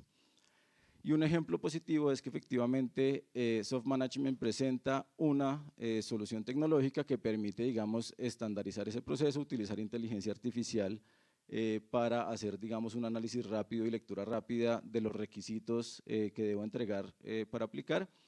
Y acá, digamos que hasta el momento y como estamos iniciando el proceso, em, hay, digamos, una titularidad de la, del desarrollo de la tecnología, de lo que se haga en beneficio de eso que será compartida. Eh, y ahí, pues obviamente, Soft Management tendrá la posibilidad futura de decir, listo, ya desarrollé esto para el Ministerio de Justicia, INVIMA, el proceso, pero a futuro tengo también la posibilidad de hacer una comercialización o aplicar en otro lado, aplicar inclusive por fuera del país o en una gobernación, en una alcaldía, en otros sectores eh, que le permitan, gracias a ese desarrollo, lograr, digamos, eh, futuras eh, pues, negociaciones y explotación efectivamente de la, de la propiedad eh, que se desarrolló. Y por otro lado, una experiencia que también tuvimos con la alcaldía de, de, Bogotá, eh, con el distrito, que es con Renovo, donde efectivamente se buscaba una solución tecnológica que permitiera hacer una identificación de riesgos que se presentaban en ciertos predios públicos y definir también cuál era el mejor uso de este y acompañado también de incorporar a la comunidad sobre cuál debería ser el uso de, estos predios. Ahí también eh, se generó una, una solución tecnológica eh, en la cual, digamos, la propiedad intelectual es del, del empresario eh, o pues del emprendedor que se presentó en su momento y que hoy ya le da réditos porque pues al final logró hacer un acuerdo con el distrito para implementar esta tecnología, presta un servicio al final esta empresa y le permite también a futuro eventualmente comercializar esta, este, este servicio. Entonces es un poco, digamos, lo, lo que quisiera mencionar en, en respecto a esas dos preguntas. Vale, muy interesante. Yo creo que detrás de todo eso está un poco que hay entidades públicas que se hacen la pregunta de para qué queremos la propiedad eh, intelectual y hay otras que nunca se la han planteado. Y creo que esto tiene mucho que ver con lo que también nos decía eh, en la introducción Juan Duque. ¿no? Al final la gente no compra tecnología, el sector público no compra tecnología porque no sabe de tecnología. Yo creo que lo mismo pasa con la propiedad intelectual. Realmente no se establecen cláusulas específicas porque es mejor dejar puesta la que está en los pliegos tipos de que todo lo que se desarrolla en el marco de este contrato es propiedad de la Administración. Entonces, creo que a medida que uno entra ahí y se hace esa pregunta de para qué, y en cada caso concreto, pues va a variar. Quiero decir, yo, por ejemplo, he trabajado mucho en sector salud eh, y hace 10 años, pues en un gran proyecto en temas de compra de innovación, el, sector, el, el sistema de salud se planteó para qué queremos la propiedad intelectual de todo lo que se va a desarrollar se hicieron esa pregunta y dijeron no nos interesa para nada. ¿Por qué? Porque nos va a impactar directamente en el precio de lo que vamos a estar pagando, porque al final si yo eh, eh, me, la, me, la, reservo, tengo que pagar ese sobrecoste a esa empresa por haber desarrollado algo en exclusiva para mí.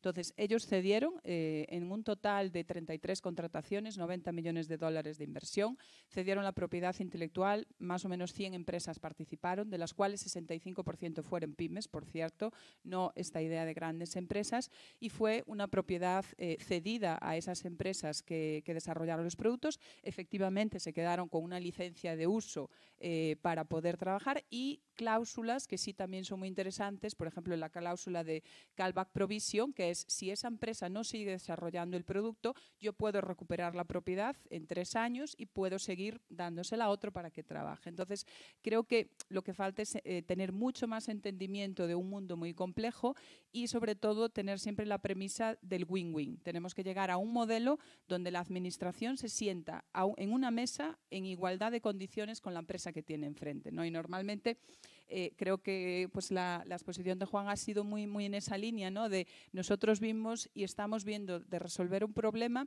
y de llegar a buscar condiciones que nos favorezcan a los dos. Y eso eh, pues me parece como que es la clave para abordar estos proyectos. Eh, y ahora vamos con el sector defensa porque sí es un poquito eh, es, diferente en todo esto, ¿no? porque al final pues, estamos hablando pues, de un sector que tiene pues, información sensible, que realmente entran muchas más cosas en juego. Entonces sí querríamos saber cómo, cómo están gestionando, cómo han gestionado un poco todos estos temas y, qué, experiencias han encontrado. Bueno, eh, buenos días para todos. Pues en el sector defensa hemos evolucionado un poco en ese tema de propiedad intelectual y lo digo eh, con franqueza.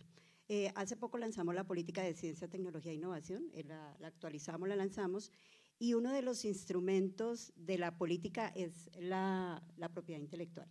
Entonces definimos todo un proceso y definimos unas rutas de innovación que, son los desarrollos propios, el codesarrollo y la transferencia. Y en estas tres rutas está inmersa la, propiedad intelectual.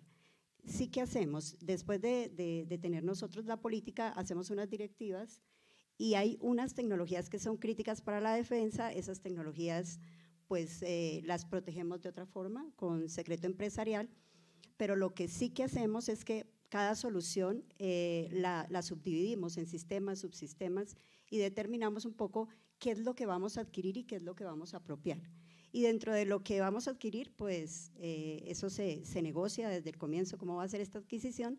Los temas de integración los estamos compartiendo con las empresas del GESED, porque tenemos un, un gran conglomerado de empresas del GESED, entonces queremos que la integración, eh, hay cosas que las sepamos hacer los dos, y eh, hay temas que no son de tecnología crítica y esos temas los estamos trabajando con el sector privado. Entonces, eh, esto es importante porque pues no toda la tecnología es crítica, por eso te decimos que ahí tenemos unas metodologías de desagregación y hay componentes que estamos trabajando con la industria. Entonces, esto ha sido muy, muy interesante también que ya lo pongamos en la política y que esto sea público, ya pues, todo el mundo pueda acceder al conocimiento de la política. Y en los, em, digamos que en los acuerdos también tenemos unos modelos, más adelante de pronto les cuento ya eh, un poco más adelante cómo tenemos los modelos, Y, digamos, pero sí hemos enfrentado desafíos, porque teníamos un, uno, nosotros tenemos unos desarrollos muy interesantes al, al, interior del sector y lo que estamos proponiendo ahora es que estos desarrollos sean duales, es decir, que tengan aplicación en el sector defensa, pero que tengan un uso eh, en el sector civil. Eh, y resulta que eh, hace años teníamos el, el, sistema de mando y control de la Fuerza Aérea. es un desarrollo in-house y vino un, una, un país de Centroamérica y dijo, yo quiero comprar ese desarrollo. Y nosotros, listo, vamos a venderlo. Y no lo podíamos vender. Entonces eh, dijimos, bueno, ¿y, ¿y, cómo hacemos? Porque pues el sector, eh, eh, lastimosamente, se hacen muchas normas para el sector público, para el sector privado, pero esto de innovación para el sector público como que no, esto no se desarrolla mucho. Entonces fuimos a España, al Ministerio de Defensa, y ellos eh, nos explicaron un poco cómo llegaron al tema de la transferencia. Nosotros nos vinimos acá con esa inquietud, la trajimos a, la dirección de, Ciencia y Tecnología del DNP, que ha sido un aliado fabuloso para nosotros en todo este proceso. Y ellos nos dijeron, oiga, eh, eh, dentro de, no, no, lo logramos con, con MinCiencias, pero lo logramos con ellos, y nos, dieron un, nos abrieron un espacio en, en el plan de desarrollo del 2019, entonces ese artículo 167, que ahora es el 170 que menciona Cristian, salió de nuestra dirección para, para que las entidades públicas pudiéramos transferir y licenciar la tecnología a un tercero, porque eso no lo podíamos hacer. Entonces tomamos esa, esa buena referencia del Ministerio de Defensa español, vinimos acá, ellos lo hacen por ley, nosotros dijimos, ¿y ahora cómo diablo lo hacemos nosotros por ley?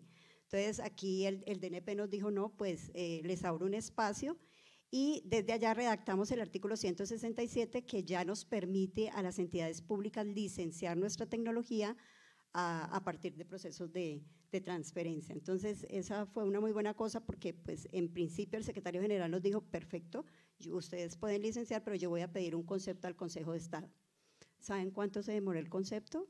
Dos años. Y cuando llegó, eh, nos dijo que más o menos sí, pero más o menos no. Entonces, sí, sí, sí fue muy interesante para nosotros desde el sector defensa abrir esta posibilidad para todas las entidades del Estado para que ya podemos hacer eh, tecnologías de uso dual y, que podamos transferir nosotros.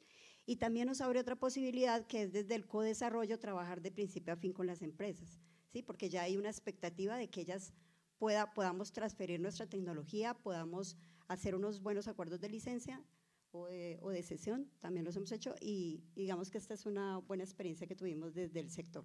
Hemos cambiado un poco, ya no estamos tan, tan en la cajita. Vale, no, pues muy interesante y la verdad es que... Eh, gracias, Cristina. La experiencia del sector defensa en España ha sido el sector pionero de compra pública de innovación. Ellos fueron, pues eso, hace más de 14 años que empezaron con un programa específico y un poco porque ellos veían que era un sector en el que se desarrollaban cosas que, eran susceptibles de ser protegidas y que se generaba mucha, mucha innovación. ¿no? Sí es cierto que hoy eso está pasando, debería de estar pasando en todos los sectores, transporte, educación, en, todos ellos y creo que la mirada al sector defensa nos puede ser de, de mucha de mucha utilidad. ¿no?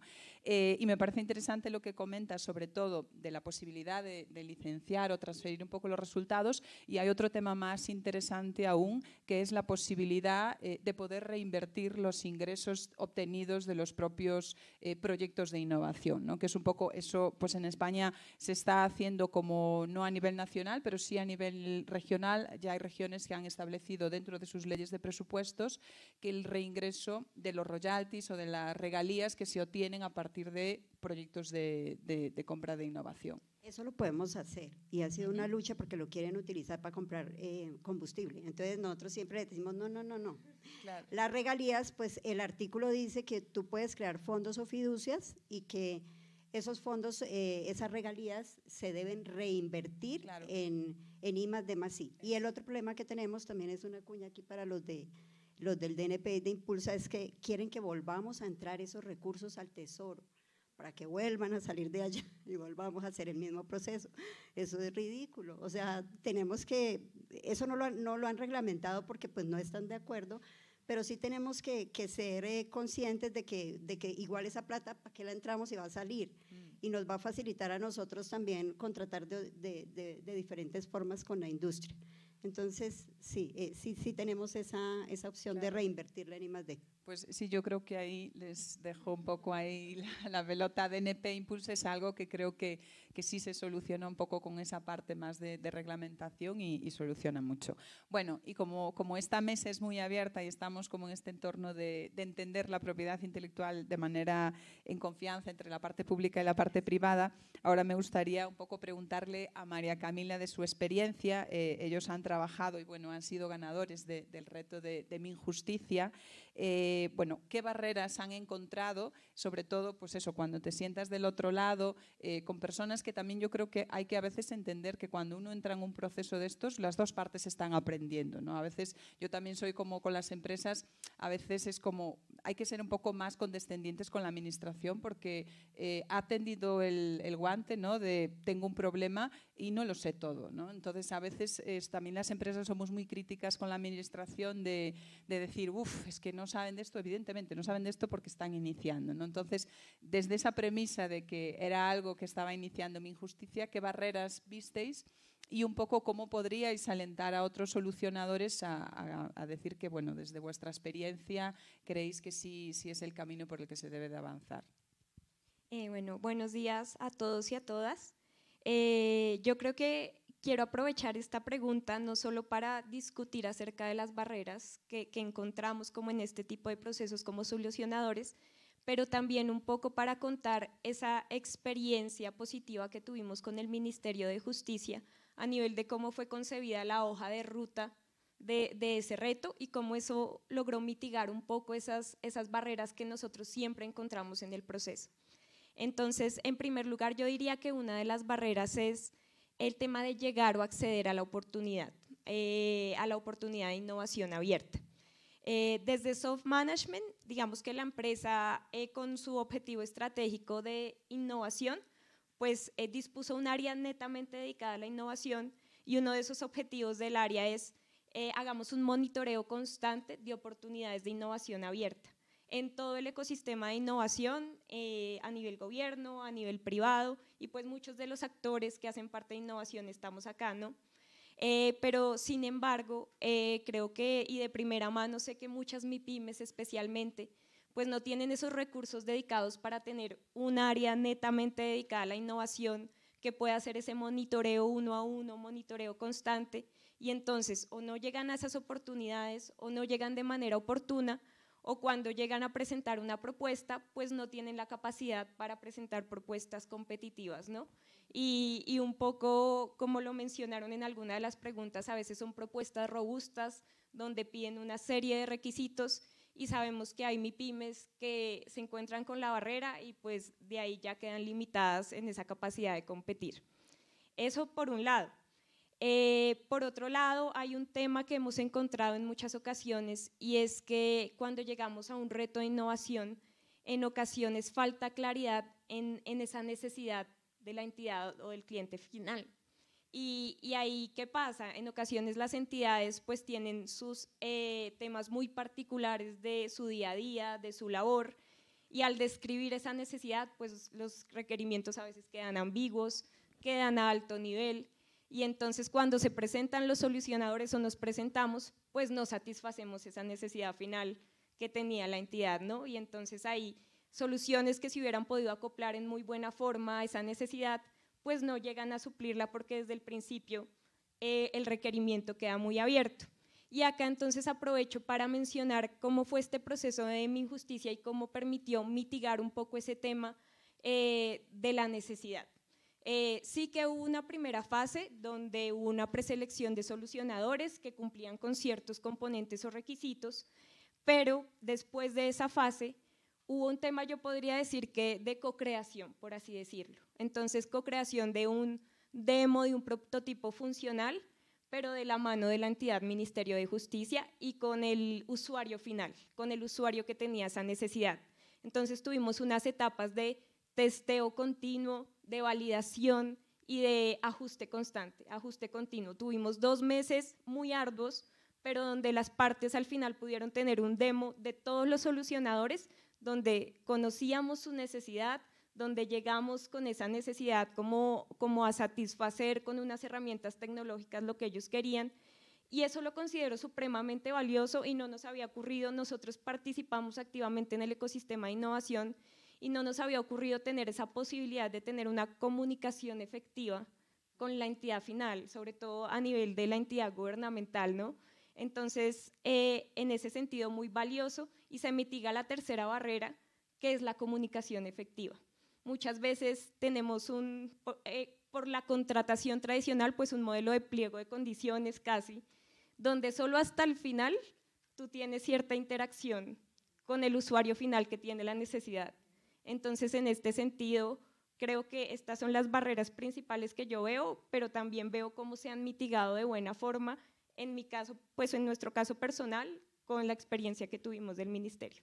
Y, sobre la parte de propiedad intelectual, entiendo que tenéis vosotros la titularidad, ¿no? Eh, sí, nosotros eh, digamos que estamos en una fase inicial, estamos haciendo un tema de propiedad eh, compartida y acá digamos que resaltamos también, y creo que Cristian lo mencionaba al principio, para la empresa privada la explotación comercial de su solución sobre todo cuando hay un alto componente a nivel de esfuerzo creativo, de implementación de tecnología de última generación como inteligencia artificial, como lo hemos mencionado, pues el hecho de poder tener un equilibrio en la propiedad eh, permite a la empresa que sea atractivo, pero también que la entidad tenga la tranquilidad que va a poder hacer eh, uso de su solución a libre disposición, ¿no?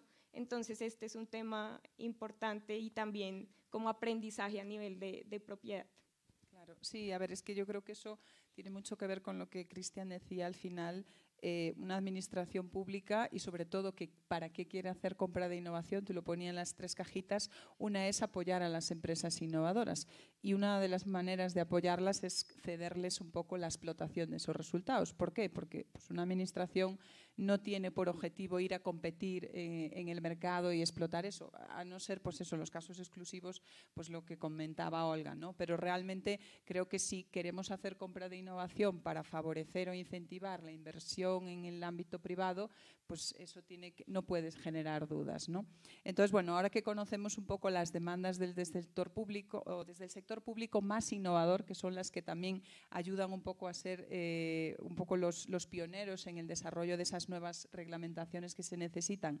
Y de la parte privada, sí me gustaría preguntarle a Cristian cómo veríais vosotros desde las políticas públicas, ¿no? que tenéis un poco el manejo para hacer eso, eh, cómo os podríais eh, desarrollar o adaptar todo lo que está alrededor de la compra pública de innovación y la propiedad intelectual para hacer que sea más factible poder eh, implementar estas, estas acciones. ¿no?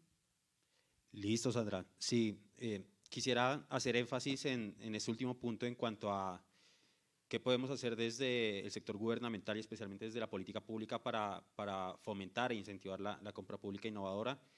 Eh, quizás ampliando el alcance ya no solo a PACE, sino en general, eh, porque pues, existen unos retos grandes en ese sentido. Em, lo primero que quisiera decir, y es que muy acorde con lo que nos comentaba Juan David hace un rato, quizás el régimen legal de contratación de ciencia y tecnología, el régimen de propiedad intelectual, el régimen establecido en la ley 2069, el decreto 442 y el decreto 1082, podrían ser perfectibles, siempre las normas son perfectibles, pero son suficientes, nos dan esas herramientas mínimas para poder implementar procesos de compra pública innovadora en el país. Y bajo ese supuesto, entonces, quizás el reto más grande que debemos enfrentar desde la política pública es lograr encontrar modelos y esquemas operativos y contractuales que en el marco de ese régimen legal puedan hacer viable esta compra pública innovadora. Y eso implica otro supuesto importante también, y es que quizás debemos dejar de asumir que las entidades públicas deben ser expertas en todas las áreas que requiere la implementación de compra pública innovadora. Como lo hemos visto, la compra pública innovadora requiere eh, conocimiento experto en gestión y negociación de propiedad intelectual, conocimiento experto en gestión tecnológica, conocimiento experto en relacionamiento con actores del Sistema Nacional de Ciencia, Tecnología e Innovación, conocimiento experto en contratación de ciencia y tecnología, y pedirle a una entidad pública en un país en el que casi el 85% de las entidades públicas son municipios de sexta categoría, municipios pobres, que tengan todas esas capacidades para implementar compra pública innovadora, parece irrealizable. Y eso nos lleva a, a otro punto importante y es si las entidades públicas no necesariamente tienen esas capacidades, a excepción de entidades superpoderosas como el Ministerio de Defensa, que sabemos que tienen todas esas capacidades, eh, quizás la salida es cooperar y tenemos los instrumentos para hacerlo. Convenios especiales de cooperación, contratos interadministrativos, contratos de administración de proyectos de ciencia y tecnología, a través de los cuales la entidad pública puede apalancarse a actores del ecosistema que son expertos en estos temas. Y eso nos lleva quizás a que en un proceso quizás eh, estándar de compra pública innovadora, eh, podríamos recibir el respaldo de determinados actores y aquí viene quizás el principal incentivo que, que podríamos generar y es generar un incentivo a la consolidación de un ecosistema que le brinde esos respaldos que necesitan las entidades públicas para implementar estos procesos. Y esos respaldos pueden venir por el lado de, por ejemplo, una oficina de transferencia de tecnología que todos los días se dedica a estructurar retos, ya lo decía María Camila, quizás el punto clave inicial es estructurar bien el problema. Y las oficinas de transferencia de tecnología, y que nos lo diga Conet, son expertas en estructurar retos eh, tecnológicos, en hacer vigilancia tecnológica, en adelantar diálogo técnico especializado, en buscar solucionadores, en negociar con esos solucionadores y gestionar la propiedad intelectual. Podemos acudir a esas oficinas o también a laboratorios de innovación pública. Podemos acudir a los administradores especializados de proyectos de ciencia, tecnología e innovación. ¿Por qué? Porque necesitamos hacer contrataciones y gestionar recursos de una forma ágil. Si un proceso de compra pública innovadora se gestiona con el régimen de contratación y la gestión tal vez interna de una entidad pública que no tiene experiencia para ello, se va a ahogar desde el inicio. Tener un administrador experto externo que gestione y contrate ayuda, puede ayudar un montón para, para eh, agilizar el proceso. Una opción que muchas veces no es tan, tan atractiva, pero que puede ser eh, posible en algunos casos, es la interventoría. Una interventoría especializada puede apoyar a la entidad pública en el seguimiento técnico para verificar que lo que se esté generando realmente cumpla con las necesidades y los requerimientos, pero también para darle confianza a los actores y darle confianza a los organismos de control. Y tener esa interventoría, aunque no es obligatoria en este caso por el régimen de contratación, sí puede ser contratada de forma voluntaria por la entidad pública y sé que es más recursos, pero también puede dar mucha tranquilidad en el proceso. Y finalmente, tener un acercamiento cercano con todos los actores del Sistema Nacional de Ciencia, Tecnología e Innovación puede ayudar muchísimo porque, como lo decíamos antes, no solo es necesario un actor para poder encontrar una solución, muchas veces se necesita confluencia de universidades, centros, empresas, y quizás el emprendimiento de base científico-tecnológica es ese vehículo que recibe la transferencia de tecnología de todos esos actores y finalmente puede suministrar el bien o servicio a la entidad pública. Eh, con eso entonces cierro diciendo que el, incentivo que podríamos generar desde la política pública es consolidar ese ecosistema de apoyo para las entidades públicas en orden a eh, suplir esas capacidades que necesitan para ejecutar procesos de CPI, lo cual no significa que las entidades públicas no van a generar capacidades propias. las van a generar, pero en la marcha y en el mediano plazo. No podemos exigírselas quizás en el corto plazo. Sí, totalmente de acuerdo. Creo que bueno, en otros países se ha visto que la falta de capacidades para poder abordar un proceso de compra de innovación, eh, bueno, yo eh, lo he definido hasta, hasta seis competencias claves, ¿no? La de contratación pública, la, claramente la de innovación abierta, la de propiedad intelectual, eh, después la de tecnologías disruptivas, la parte de metodologías ágiles, creo que lo comenta ella, no se puede hacer un seguimiento de un proyecto de compra de innovación como se hace un seguimiento tradicional y ahí creo que el papel de las interventorías también debe de cambiar, no puede hacerse una gestión. Y la última, la relación con el ecosistema y con startups. ¿no? Si queremos que las startups entren, eh, tenemos que acercarnos a ellas de otra manera, porque sus reglas de juego también, eh, desde dónde se informan hasta cómo se relacionan, son distintas. ¿no? Tener eso que, yo a veces llamo que es como hay un, un inversor eh, estrella, porque mm, cuando uno hace compra de innovación desde el sector público, ya deja de ser un comprador público y pasa a ser un inversor público. Yo creo que lo que está haciendo el Ministerio de Defensa cuando pone en marcha sus proyectos es hacer inversión pública. Y, me parece muy interesante lo que planteas, que la oportunidad de que las causales de ciencia y tecnología nos permitan suplir esas necesidades a las entidades públicas a través de eh, adquirirlas del ecosistema. ¿no? Entonces, toda la articulación de, eso, de saber dónde están esas capacidades, que ahora mismo las hay en Colombia, pero están en agentes distintos y coordinarlos, creo que me parecería algo que si realmente sale de este trabajo y, y el resultado de esta consultoría es poder implementar eso, me parecería súper súper exitoso. ¿no? Bueno, pues ahora adentrándonos un poco más en la parte como ya de, pues eh, concretamente qué acuerdos o qué recomendaciones darían ustedes desde defensa para, lo que está funcionando en, Colombia y a otros sectores que igual no están tan desarrollados en, temas de, innovación, pues bueno, ¿qué tipos de acuerdos eh, concretamente manejan ustedes desde, desde el Ministerio y cuáles, bueno, pros y contras podrían recomendar para, para otras entidades públicas? Bueno, nosotros utilizamos mucho los convenios especiales de cooperación y tenemos una muy, mejor dicho, eso lo hemos desarrollado tanto en el ministerio que ya tenemos em, eso, esa, tenemos un capítulo en el manual de contratación del ministerio dedicado a este tipo de convenios. Entonces, el que quiera consultarlos allá puede ir porque pues son unas buenas prácticas de, de compra pública innovadora de cómo debemos hacer un estudio previo y en este tipo de, de sistemas y, digamos qué, debe contener, lo mínimo que debe contener el convenio. Y dentro de esos puntos establecimos el de la propiedad intelectual. Y nosotros lo que hacemos es que desde el comienzo le recomendamos a los centros eh, que tenemos en, el, en las fuerzas que se sienten con los desarrolladores y con todas las personas que van a participar en su desarrollo y, revisen qué es lo que va a hacer cada uno, cuál es su rol en el proyecto y qué es lo que cada uno va a hacer porque de acuerdo a eso es que tú vas a negociar tu propiedad intelectual al final. Entonces, hacemos modelos, hacemos muchos modelos, determinamos roles y esos roles no son eh, exactamente los, desde el comienzo los mismos al final. Entonces hay que estar revisando esto porque al final eh, yo estaba trabajando con ella tres módulos y ella al final tuvo algún percance y resultó en dos, entonces todo eso cuenta, o sea, esta, estos modelos son flexibles y hay que revisarlos de comienzo a fin.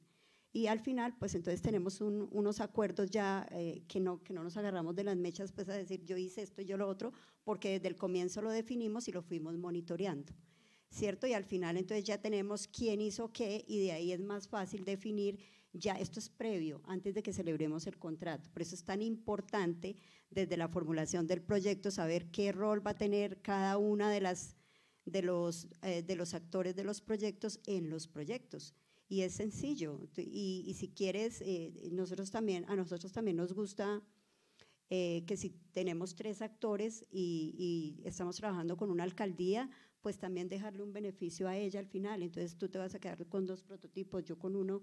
Eh, nosotros hemos abierto esa posibilidad de mirar modelos, actores, de mirar los roles y revisarlos al final, o sea, porque esto varía. Pero eso nos da un, buen, un muy buen punto de partida para el convenio, porque es que nosotros arrancamos a hacer la cláusula del convenio sin mirar esto atrás del desarrollo.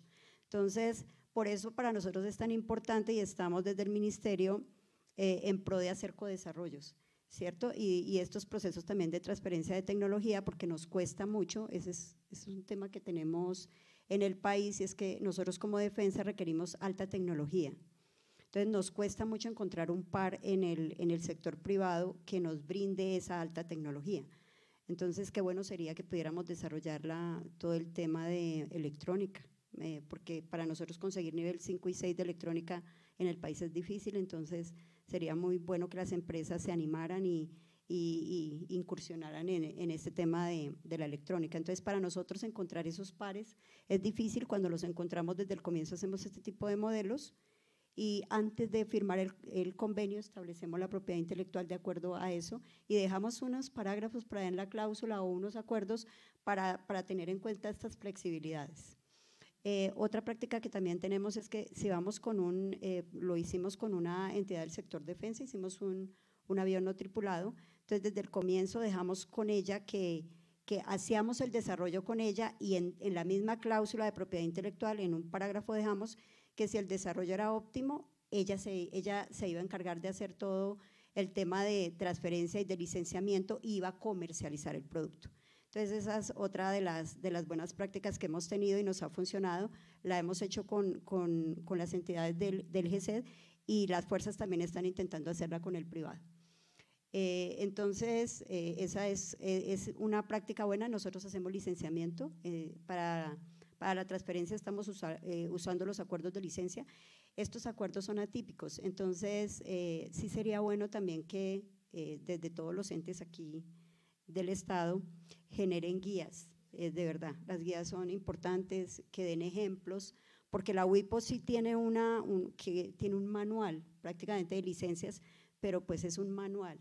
Entonces sí sería bueno que desde el DNP, desde MinCiencias, desde no sé dónde, eh, o desde Colombia Compra también nos ayuden con guías que de verdad uno pueda usarlas, que uno diga, venga, ¿cómo hago un contrato de licencia? Esto es lo mínimo, esto, esto se hace así, pongan unos ejemplos y, que generemos guías, guías de, de, las buenas prácticas de estos temas. Nosotros estamos haciendo una guía para el sector y nos ha costado, porque nosotros estamos trabajando en este proceso de transferencia, esto no es nada fácil, tú te enfrentas aquí a los, a los, a los eh, abogados y los abogados de esta cosa no entienden, estos contratos no están en la ley 80 y nosotros luche con eso, pero pues que son atípicos, mira, están acá, estas son las buenas prácticas.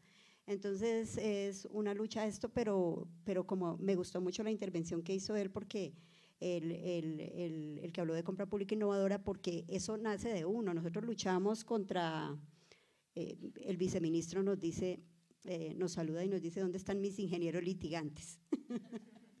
Porque pues no tenemos abogados, somos ingenieros que entendemos un poco de este tema y él tiene razón, o sea, es, es, desde, es desde el entendimiento que nosotros tenemos que, que se lo trasladamos a los, a los abogados. Entonces, eh, hemos hecho contratos de licenciamiento, pues porque nosotros promovimos el, que, que, podíamos licenciar la tecnología y también hemos hecho contratos de transferencia. Entonces, estamos haciendo como doctrina alrededor del tema. Entonces, eh, y, pues lo hemos podido hacer, o sea, esto no es imposible. Entonces, eh, ahí eh, estamos procurando dejar esas, esos documentos y esas guías para el sector, ¿no? Porque nuestro sector es bien particular, pero pues que también podríamos compartir mañana las buenas prácticas. Sandra, qué pena interrumpirte. Por cuestión de tiempo les vamos a pedir como respuestas muy concretas para, para alcanzar a, a dar como finalización a todo el evento. Gracias. Sí, solo nos quedan dos preguntitas. Me parece muy interesante, Olga, lo que dices. Eh, creo que la idea de que Colombia Compra Eficiente, DNP hagan guías, de mi experiencia es que las guías, las personas que mejor las hacen son las que viven los procesos. Entonces aquí, pues bueno, seguramente esos ingenieros litigantes tengan mucho más conocimiento para poder hacer una guía que con todo el conocimiento que pueda haber dentro de esas entidades. Porque al final, pues las guías que son como muy teóricas o así no aportan nada lo que aporta realmente esas experiencias del, día a día. Y me ha gustado mucho lo que has dicho, porque creo que también, eh, pues María Camila lo había dicho eh, un poco, es, tú has hablado de flexibilidad, ella ha hablado de iteraciones y, un poco relaciones rápidas, y nos vamos un poco al, marco de, las metodologías ágiles y al funcionamiento de algo que es totalmente también distante de las administraciones públicas. Y creo que, es, bueno, me gusta resaltarlo porque está detrás de la compra de innovación, aunque aparentemente no se ve. ¿no? Entonces, ya para terminar, sí te preguntaría muy rápido, María Camila, eh, si pudieras establecer unas condiciones mínimas que crees que cualquier eh, proyecto de, compra de innovación en términos de propiedad intelectual debería de garantizar para que una empresa no diga yo a esto no voy porque se están extralimitando, ¿cuáles serían esas condiciones mínimas que, como empresa consideras que deberían de estar? Eh, perfecto, no, no me demoro, pero yo creo en primer lugar, y creo que todos lo hemos mencionado, que en etapas tempranas eh, queden muy claro y acotadas las condiciones de propiedad, pues es imprescindible. Eh, y especialmente cuando hablamos de MIPIMES, eh, pues imagínate si la entidad gubernamental a veces no tiene todo el conocimiento en, en, esa parte jurídica de propiedad intelectual, pues ni se diga la MIPIME.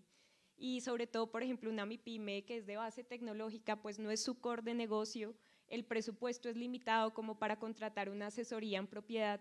Entonces, si estas condiciones eh, son muy claras desde el principio y buscando un tema de un gana y gana, creo que el solucionador va a sentir tranquilidad de que acá estamos juntos para beneficiarnos mutuamente.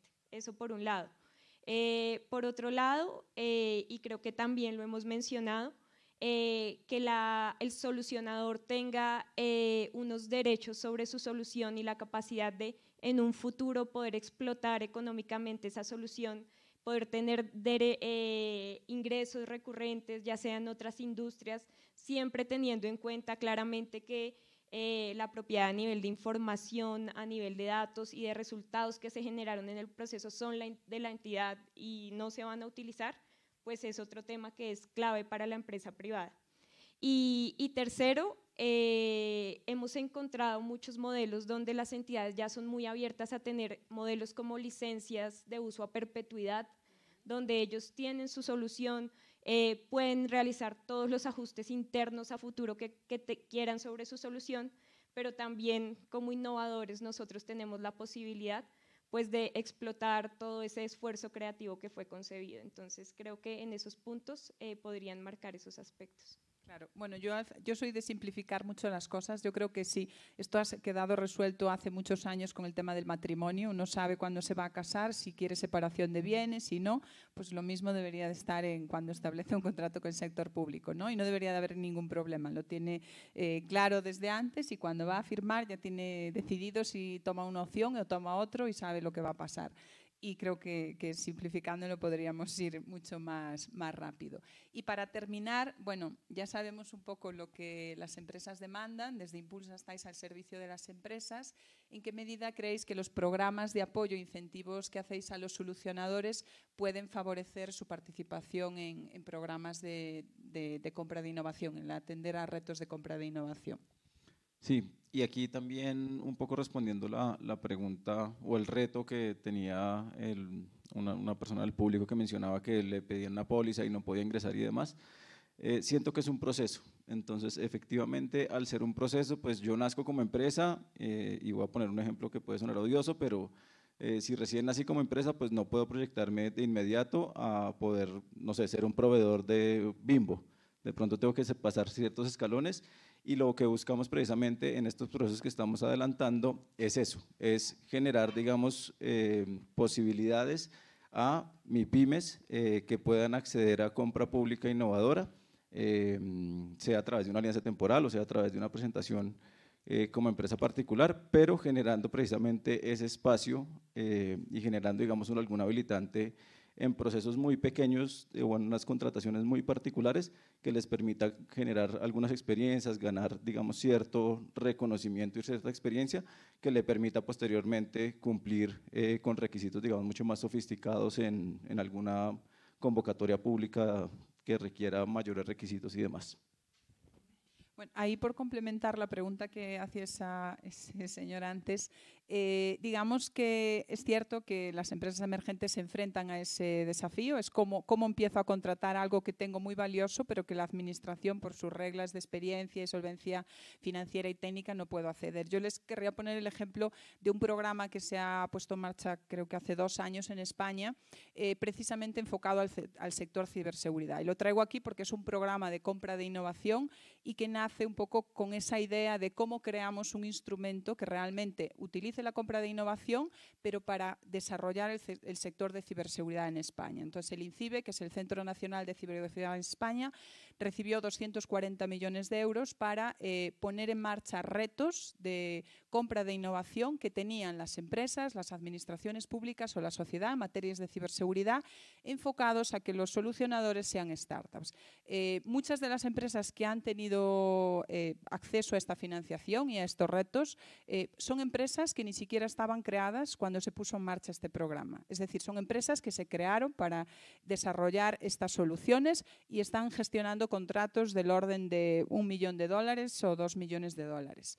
Eh, ¿Por qué? Porque las condiciones que se establecieron en esos procedimientos es que no se va a pedir eh, solvencias eh, técnicas o financieras, sino que lo que se está pidiendo es que tengan la capacidad de desarrollar esas innovaciones. Entonces, eh, quería verlo porque la compra de innovación sirve para eso. Si yo quiero detonar un mercado, quiero generar un mercado, tengo la capacidad desde política pública de poder hacerlo, utilizando la contratación pública, pero con una visión mucho más estratégica. Y eso limitaría, porque evidentemente una empresa que nace hoy, hasta que puedas llegar por la contratación más tradicional a venderle al gobierno va a tardar mucho tiempo. Cuando pase ese tiempo, posiblemente la tecnología que tenga igual ya eh, deja de ser disruptiva y el sector público pues ha desaprovechado la oportunidad de poder integrarla.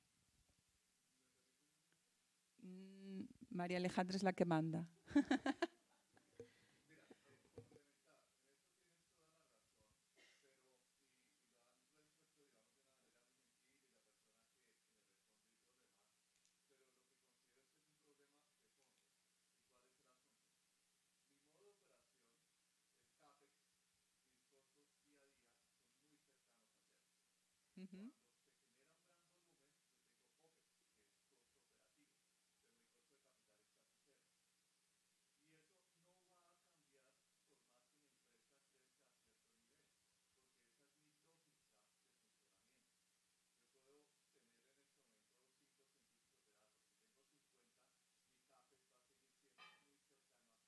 Mm-hmm.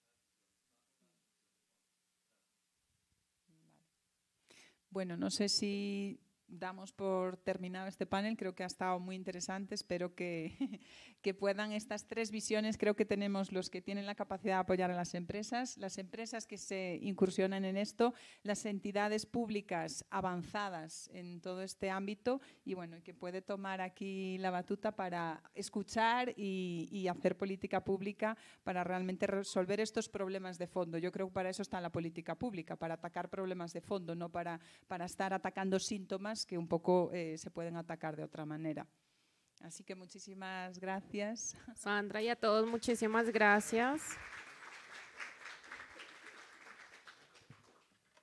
Bueno, y vamos a seguir rápidamente con, eh, queremos escuchar también esta posición desde, desde, los emprendedores, entonces vamos a tener a Benfor para que nos cuente su storytelling de la CPI desde la perspectiva del emprendedor, la propiedad intelectual, los tiempos, los costos asociados para participar eh, en un reto. Y acá, chicos, ustedes son expertos en, en hacer las cosas súper rápido, entonces también les pedimos que sean cinco minuticos que nos cuenten, a ver si, si, si lo logramos. Mil gracias y adelante. Esperen, ya les pongo la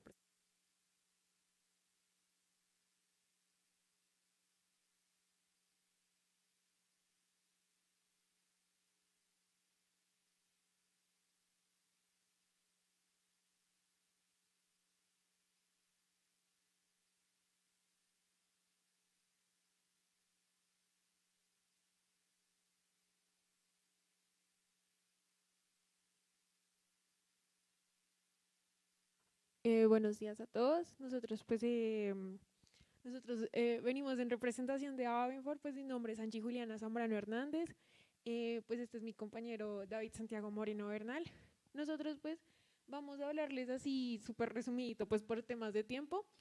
Entonces, pues primero como una contextualización de quiénes somos nosotros. Nosotros somos una empresa de tecnología, nos enfocamos en el desarrollo de software y a partir de esto tenemos tres grandes fuentes, bueno, fuertes, perdón el cual se enfoca en primero es en una, el desarrollo de una plataforma de ciberseguridad. Nosotros, la plataforma ya está desarrollada, lo que nosotros hacemos es venderla, ya sea a empresas públicas o privadas, pues para que manejen todos sus datos de la mejor manera posible. Entonces, es súper ideal para empresas, de, empresas que de pronto manejen temas como con pacientes, pues porque ustedes, ustedes conocen lo que es la, confidencial, la confidencialidad paciente-doctor, entonces es es perfecta y también, digamos, para, también tratamos de usarla para el sector defensa.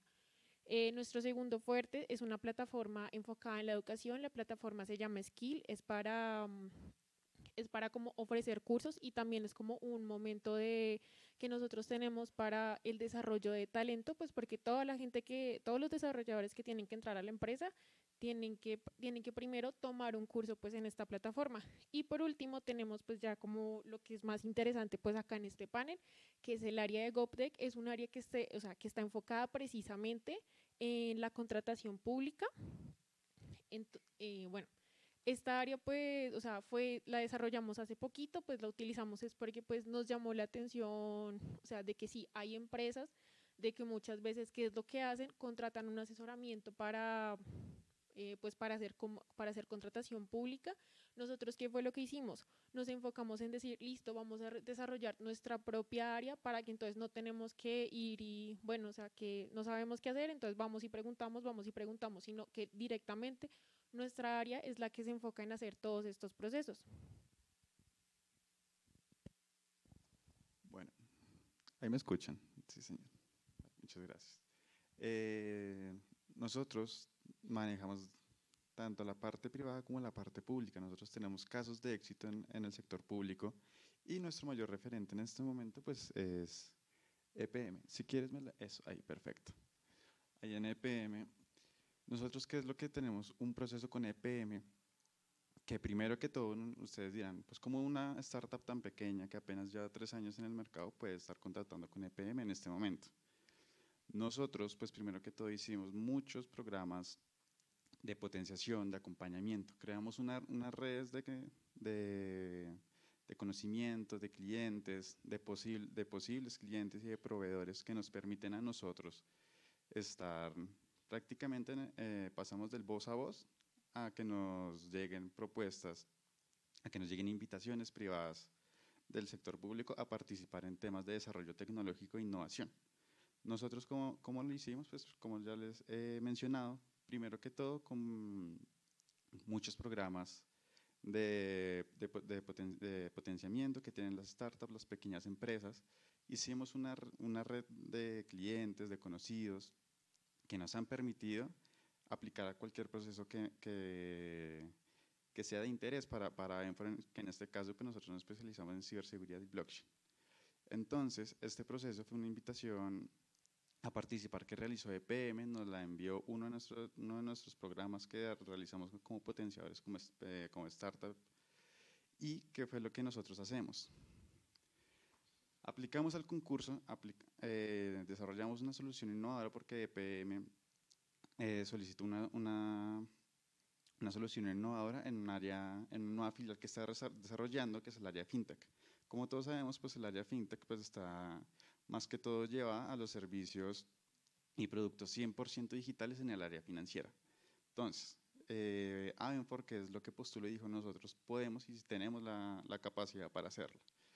Estamos creando una, eh, esta plataforma de fintech que le va a EPM realizar a futuro, porque la plataforma pues ya se, se va a entregar, va a estar próxima, eh, que es lo que va a permitir la compra y venta de energía por medios totalmente eh, digitales, 100% digitales, y es lo que está desarrollando Avenfor con EPM. Tenemos otro caso de éxito que es la creación de un metaverso. Por eso les colocamos este tipo de imágenes atrás. ¿Qué es lo que buscamos? ¿Qué es lo que buscó EPM? Dijo, nosotros necesitamos hacer que la gente, los estudiantes, todos los actores dentro del ciclo productivo de la economía circular, todo el mundo, todos los ciudadanos, todas las personas tengan acceso a ese tipo de información y estén capacitadas para que sepan lo que es la, economía circular, eh, las energías renovables, todo eso. Lanzaron un reto de innovación y Enfor dijo, nosotros podemos hacerlo, tenemos la capacidad y estamos creando en este momento un metaverso para EPM, ¿para qué? Para que sea totalmente accesible a todas las personas y todos los actores que estén interesados puedan entender y tengan mayores facilidades en sus conocimientos en cuanto a energía, energía circular, eh, energías renovables, todo se va a hacer a través del, metaverso, es decir, cualquier persona que sea cliente de EPM o esté interesada en todos esos temas puede acceder desde la comodidad de su casa a todo ese tipo de información y a todos los servicios que pueda ofrecer EPM de forma 100% virtual. Y eso es una solución innovadora pues, que Avenfor aplicó, EPM dijo, nos gusta y se está aplicando en este momento. Es decir, somos un caso de éxito en el cual una pequeña startup ha podido avanzar al grado de ser un proveedor de tecnologías de la innovación para el, sector público. No solamente EPM, también manejamos muchos eh, muchos procesos, muchos contratos que en este momento pues, están relacionados al, sector público, pero pues nuestro caso de éxito más grande que les queremos traer en este momento es EPM. Muchas gracias. Bueno, la logramos casi en los cinco minutos. Mil gracias a los dos. Súper interesante lo que nos contaron. Y vamos a dar eh, paso a nuestro siguiente panel. El siguiente panel es... un segundito. Vamos a tener a Marcela Riascos, vamos a tener también nuevamente a Olga Saavedra y a Laura Blanco también desde el DNP. Y lo va a moderar eh, Sandra Cinti.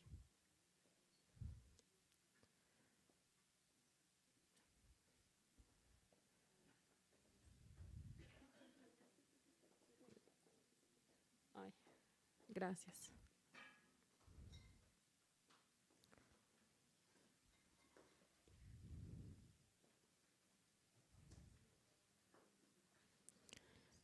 Listo. Bueno, ya sabemos que son las diez y media. Les vamos a pedir a todos los que están saliendo, que los estoy viendo salir en este momento, que nos den un ratico. Nos falta un panel y una presentación, los que se puedan quedar súper eh, invitados. El panel que vamos a tener ahora se llama Retos en la vigilancia en los procesos de compra pública innovadora.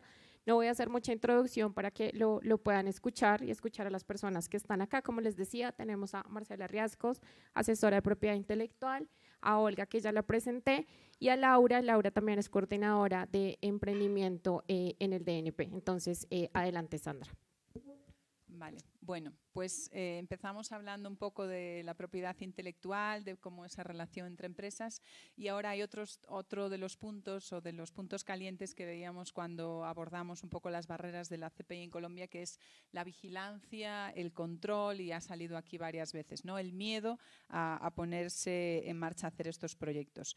Entonces, em, creo que existe un consenso en Colombia de que la regulación a día de hoy todavía puede verse como un freno a la innovación, aunque existen como muchas normativas, pero pues las empresas perciben que todavía esa regulación no es positiva de cara a la innovación. ¿no? Entonces, en este sentido, quería empezar con Marcela preguntándote, como experta en, contratación pública, y Marcela es de las de hace 10 años, cuando yo vine a Colombia, con las primeras que, empecé a trabajar, em, ¿cómo valoras el marco normativo y jurídico en relación a, a la innovación y a la compra de innovación en el país?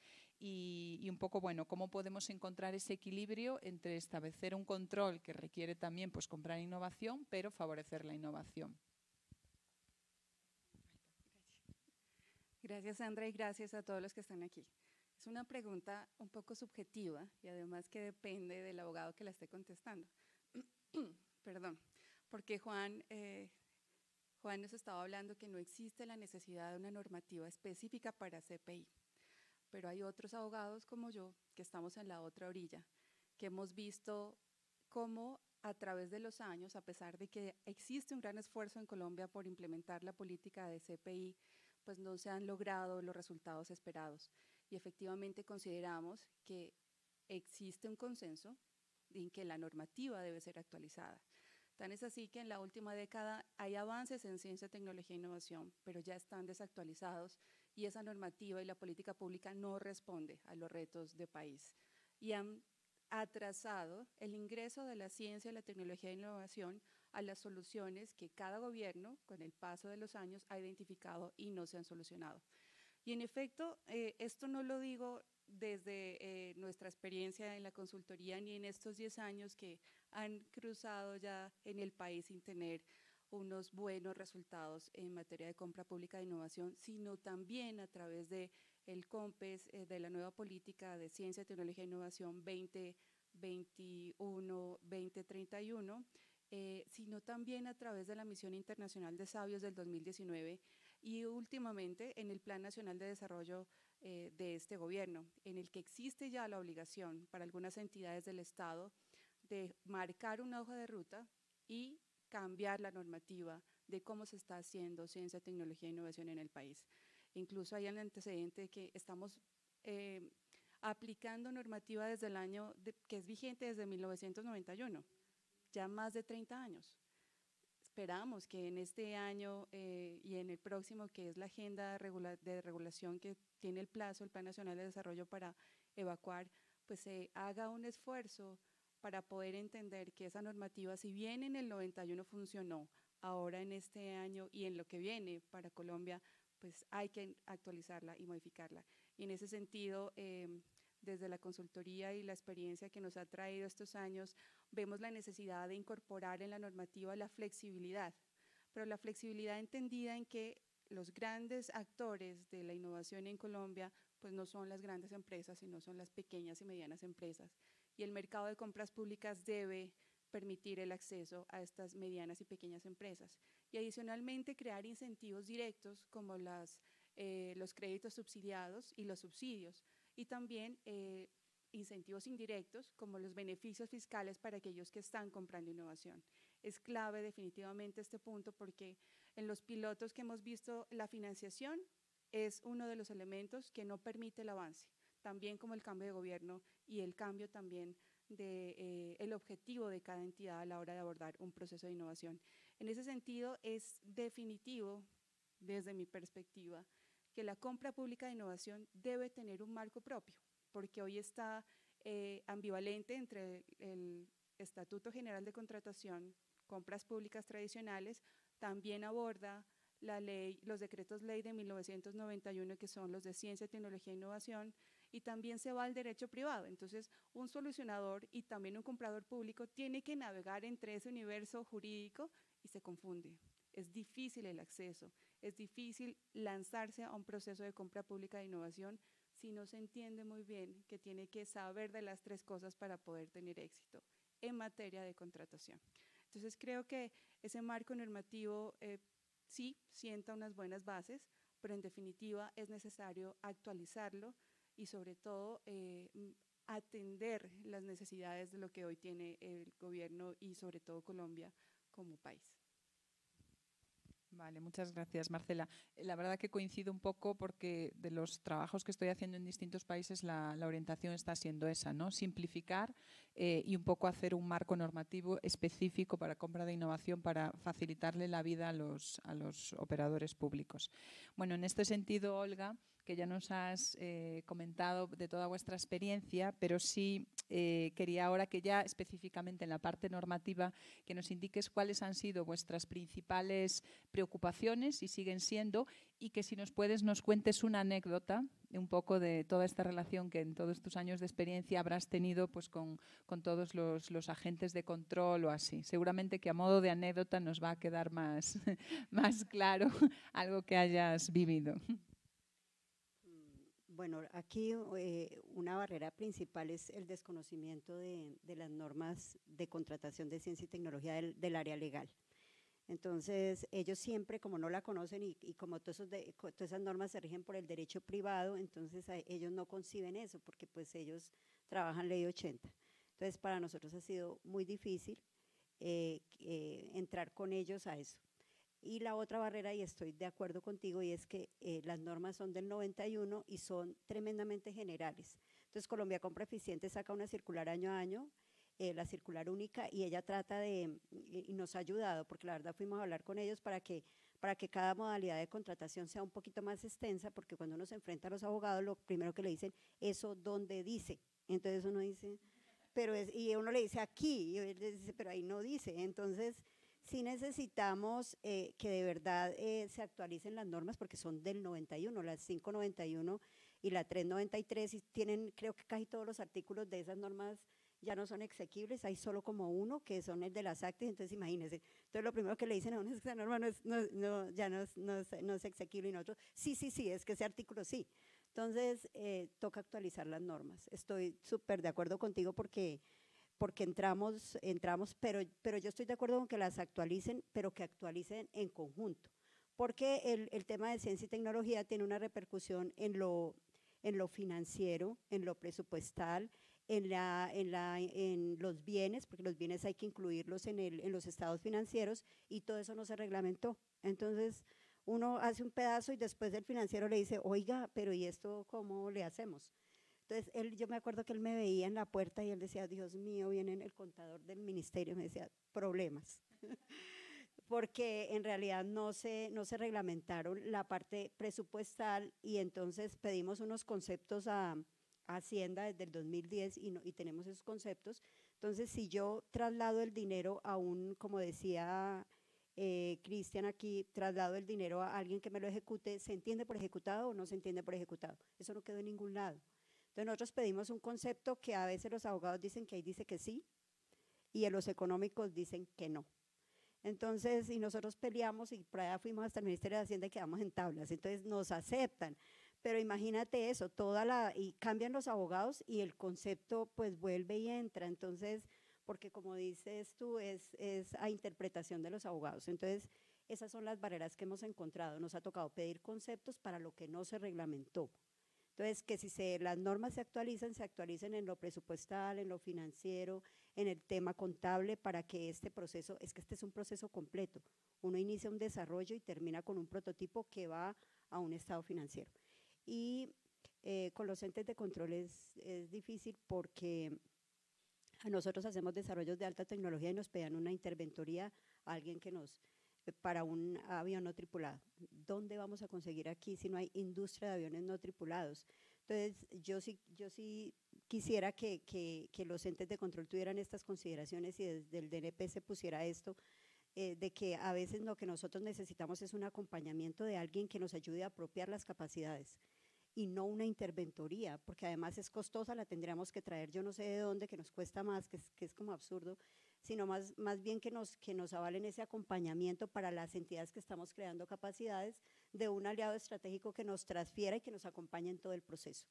Entonces, eh, son, y, bueno, otro tema, eh, con la Contraloría nosotros hicimos el avión y, y desde el diseño compramos el motor. Entonces nos pusieron una, una, una, observación grandísima que nosotros no planeábamos bien, que imagínense comprando el motor desde el diseño y que para qué lo comprábamos y que eso se nos iba a dañar. Entonces, eh, y, en qué nos vimos para explicarles que es que sin el motor no podíamos hacer el diseño del avión. Pero ¿cómo así? Entonces es dificilísimo. Eh, lo que hay que hacer allí es que ellos entiendan cómo es un proceso de I más D y también que entiendan que lo que sale no es un producto terminado, porque nosotros en el Ministerio de Defensa llegamos a un TRL-7, que es un prototipo ya aprobado en operación, pero eso no está listo, eso le falta porque nosotros no hacemos sino hasta ahí, porque somos conscientes de que el resto no lo podemos hacer nosotros, lo tiene que hacer la industria, el 8 y el 9. Entonces ellos nos califican eso como si eso ya fuera un producto. Y yo no sé, yo creo que eso está en todo, entonces sí tenemos que, por eso están tan importantes esas normas, para que tengamos como unos hitos claros de, hasta dónde sí es un, producto, hasta dónde es un prototipo. Y la otra, el otro tema es incluir los prototipos en los estados financieros. Vaya, usted incluya un prototipo que alguien en la vida le reciba un prototipo, porque ellos ya lo ven como un producto terminado. Me decían, pero es que es como un producto terminado, pero no tiene todo. Y yo, pues es que es un prototipo, o sea, no es un producto terminado. Entonces son como todas estas cosas que yo sí quiero que consideren en, en, general el proceso holísticamente, porque esto no es solo el desarrollo, sino tiene muchas cosas que vienen y por eso vienen todas las observaciones de la Contraloría y por eso nosotros hicimos un capítulo con todas esas observaciones que nos hicieron, porque además no se sabe cómo hacer un acta de liquidación, entonces la hace por ley 80. Entonces ya nuestros abogados dicen que todo lo que no está arreglado en las normas se rige por la ley 80 y nos vuelven a mandar a la ley 80 porque es que todo el mundo nos quiere traer hacia allá. Entonces sí tenemos que hacer una evangelización con los abogados y con los economistas y con los financieros. Nosotros tenemos una presentación para todos ellos porque pues todos ellos hacen parte del proceso y nos toca eh, con un proceso ir también a hablar con ellos porque a la larga ellos son los más problemáticos. Entonces tú vas con, tú tienes todo perfecto aquí en, la, en, todo, llegas y te sientas con un abogado y dices eso no se puede, eso donde está escrito y eso como así y ese, y ese objeto porque así o sea, sí, entonces uno se vuelve, por eso les digo, un ingeniero eh, litigante. Me voy a quedar con el concepto, me ha gustado mucho.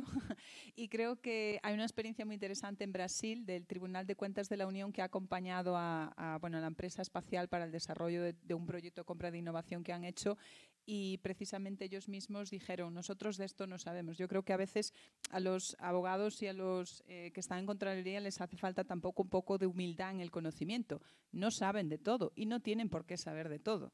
Entonces, el admitir de yo no sé de esto, eh, pero voy a guiarte en este proceso con lo que puedo saber y voy a aprender de, la parte técnica, creo que es muy, muy interesante. Entonces, bueno, esa experiencia de, Brasil y, bueno, el TCU, que además ellos hacen cursos para sus propios contralores de temas de de innovación para que puedan, eh, lo que ellos dicen, volverlos más empáticos, auditores empáticos, que es como lo de los ingenieros litigantes y los auditores empáticos. Bueno, y para terminar, porque María Alejandra me dice que ya tenemos que ir cerrando, eh, Laura, eh, un poco escuchando todo esto que creo que ha sido muy interesante, los cambios normativos, todo lo que estos eh, avanzados un poco de entidades públicas están pidiendo, bueno, ¿qué estrategias podríais proponer desde, desde el DNP para que la innovación esté alineada con las prioridades de ciencia, tecnología e innovación que también tiene, tiene el país? ¿no? Bueno, muchas gracias. Yo creo que hay tres, tres elementos importantes. Eh, lo primero eh, es terminar de definir, o sea, como entender la definición de compra pública innovadora. eh, y lo que hemos encontrado es que en general hay una confusión generalizada en el ecosistema. Nosotros hablamos de CPI, GovTech, innovación abierta, em, y cuando, digamos, cuando las entidades tratan de, digamos, de terminar de entender por qué se hace la CPI o en qué momento se decide una entidad hacer CPI, eh, ha resultado bastante complejo. Eh, una de las cosas eh, que, hemos identificado que es súper importante es terminar de entender el concepto de innovación. cuando uno va y revisa, digamos, puede que sea más evidente que hacer una compra pública precomercial, Em, digamos, una compra que requiere eh, un desarrollo de I más D, o sea, una TRL 1 a una 7, pero cuando se, les habla a las entidades, y también lo hablamos en su momento con la Contraloría de innovación, o sea, TRL 7 en adelante, dicen, bueno, ¿qué es innovación? O sea, innovación es cambiar el color, eh, es cambiar dos líneas de código, defíname, termíneme de definir qué es ese pedazo de la innovación, y Juan David pues ya nos lo explicó tenemos, digamos, como un problema muy grande asociado a la corrupción, entonces, ¿qué va a entrar ahí por innovación? Entonces, em, yo creo que terminar de entender bien que todos estemos hablando de lo mismo de cuando hablamos de compra pública innovadora es un elemento fundamental para que todos podamos alinear expectativas y eventualmente para que esto, digamos, como que se alinee con las prioridades de, digamos, de, de desarrollo tecnológico en Colombia. El segundo tema, y ustedes ya, ya lo tocaron, está asociado con la regulación y yo no me iría tan atrás, al, digamos, al decreto de, del 91, yo me iría más cerquita y es a la ley 2069. La ley 2069, que es la ley de emprendimiento, dejó en el artículo 36 compra de tecnología e innovación. Y cuando, uno, cuando nosotros tratamos de interpretar lo que quiso decir el legislador, dijimos, bueno, parece que acá quiso hablar de eh, CPI y la reglamentación quedó en el sentido de compra pública innovadora. Pero cuando uno va y lee el artículo específicamente, uno dice, bueno, pero acá de pronto podría caber, también compra de computadores, ¿por qué no si estamos hablando igual de compra de tecnología e innovación?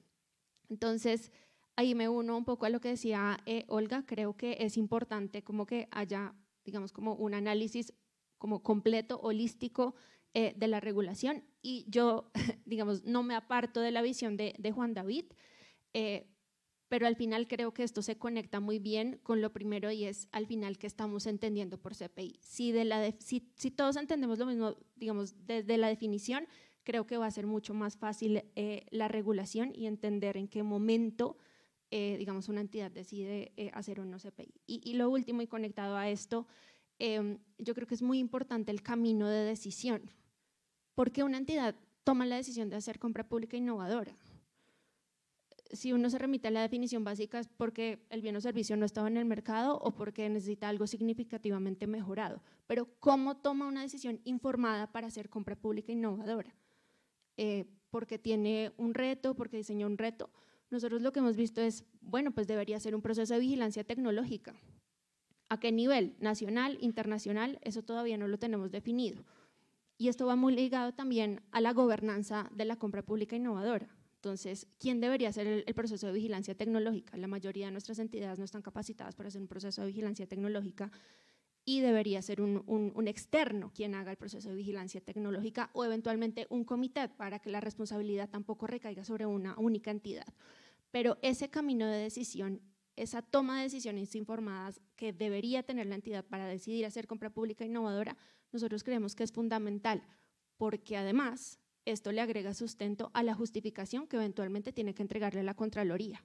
Entonces dice, sí, yo hice compra pública innovadora por A, B, C y D.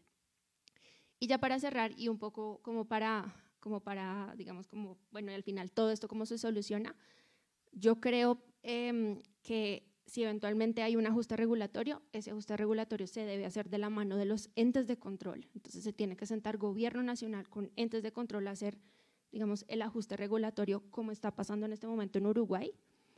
Em, lo segundo es que sí creo que la Contraloría o, los entes de control deberían dar como una base para la justificación, o sea, para que las entidades se sientan tranquilas en el momento de se justifica o no hacer una compra pública eh, innovadora.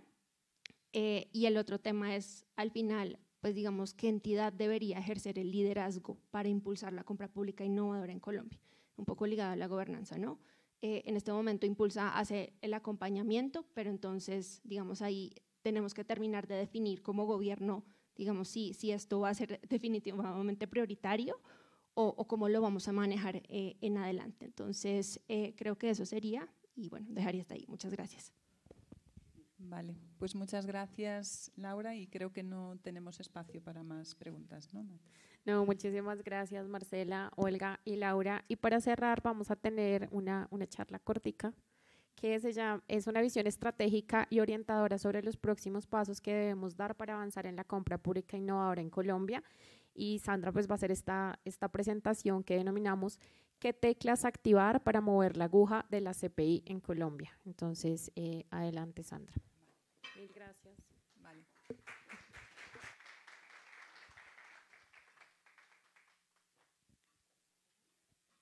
Bueno, pues papel difícil. Si no se habían cansado de verme en el primer panel, en el segundo, ahora en la charla de cierre. Pero bueno, dicen que a la tercera va la vencida. Eh, yo he intentado hacer esta charla antes de saber lo que iba a pasar en la jornada e intentar rescatar eh, un poco lo que podría ser, qué teclas tenemos que tocar, que Laura apuntó ya algunas de ellas, para que realmente esta aguja se mueva. Porque si algo creo que hemos tenido claro hoy es que llevamos 10 años sin que esta aguja se haya movido. ¿vale? Tímidamente se ha podido mover un poquito, pero no al nivel de que, lo necesitemos. Entonces, creo que hay que empezar a hablar claro. Esa es la primera. La, puerta la tenemos que empezar a hablar claro. Y el ejemplo de esta jornada ha sido hoy. La gente se ha referido como compra pública innovadora, compra pública para la innovación, compra de ciencia, tecnología e innovación. Si yo estuviera como cualquiera de vosotros ahí, diría, han hablado de cosas distintas, se están refiriendo a lo mismo. Entonces, evidentemente falta unificar un concepto o unificar conceptos y tener una narrativa única desde todos los agentes que están hablando. Lo que no puede pasar es que yo quiera implementar algo y cada persona le llame de una manera distinta y utilice un término distinto. Esto lo hemos vivido en España. En España, hace 12 años empezamos hablando de compra pública innovadora, ¿vale? Porque hicimos una traducción del inglés de eh, Public Procurement of Innovation un poquito rara. Después nos dimos cuenta que generaba eh, confusión, porque la gente pensaba que compra pública innovadora era innovar tu proceso de contratación.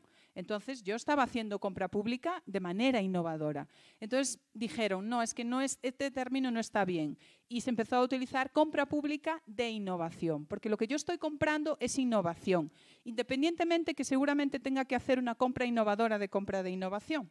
Vale, pero creo que las palabras son importantes y el primer mensaje es, eh, tienen que estar claras desde arriba. Creo que a día de hoy ese concepto, esa narrativa no está clara todavía y eso genera que cuando lo vas a trasladar a las personas que lo tienen que implementar o a las personas que tienen que actuar como solucionadores, pues no acaba funcionando, ¿no? Entonces, bueno, eh, yo voy a intentar eh, solo centrarme en cuatro cosas y ya después hacer las, las cinco teclas que creo que hay que tocar. La primera es que cuando hablemos de CPI, y si hablamos claro, es que es una actividad de riesgo. ¿vale? Eso hay que dejarlo claro. Estamos haciendo actividades de riesgo. Señores de la Contraloría, es verdad, el riesgo está inherente en la innovación y vamos a comprar cosas que son riesgosas, que pueden funcionar o no. Les va a dar miedo de principio, pero tienes que introducirlos a que lo que vas a hacer es algo que está sujeto a riesgo. Si no introducimos la variable riesgo en toda la parte de compra de innovación, vamos a, fracasar. Pero ¿qué ocurre? Que no hacerlo hoy en día como país es el mayor riesgo que escorréis, porque estaréis contratando, utilizando la contratación pública para algo que ya no tiene eh, aplicación. Entonces, evidentemente, para mí la compra de innovación es un cambio de modelo. Podemos hablar aquí mucho de cambiar las políticas de innovación, de las políticas públicas, pero sobre todo es un cambio de chip. Si fuera tan fácil como activar un poco esa bombillita en las cabezas de cada una de las personas que están en un puesto de decisión eh, a nivel de Contraloría, en cada entidad pública, en cada eh, abogados de los, como digo yo, de los, de, los del cómo sí, en los del cómo no, sería mucho más sencillo. Vale. Eh, y tenemos que afrontar un nuevo esquema de trabajo. Un esquema de trabajo que esto vale para la parte de innovación pública, nos va a unir dos mundos. El mundo público, que hoy sigo representándolo a día de hoy como un dinosaurio, aunque hay algunos que, están más avanzados, y el mundo de las soluciones innovadoras, que son esos unicornios, que también viven en ese mundo de realidad que pues cuando vienen a, relacionarse con el sector público, tienen que sujetarse a esas reglas del juego. Eso también es cierto. Hay, mucho unicornio que cree que puede seguir en su mundo de unicornios trabajando con el sector público y no es así. Entonces, ¿qué ocurre? Que hay un abismo que los separa. Si, si, fueran, vivieran, no vivieron ni siquiera en la misma época, pero no irían a beber a los mismos charcos, no comerían lo mismo y no frecuentarían nunca las mismas personas.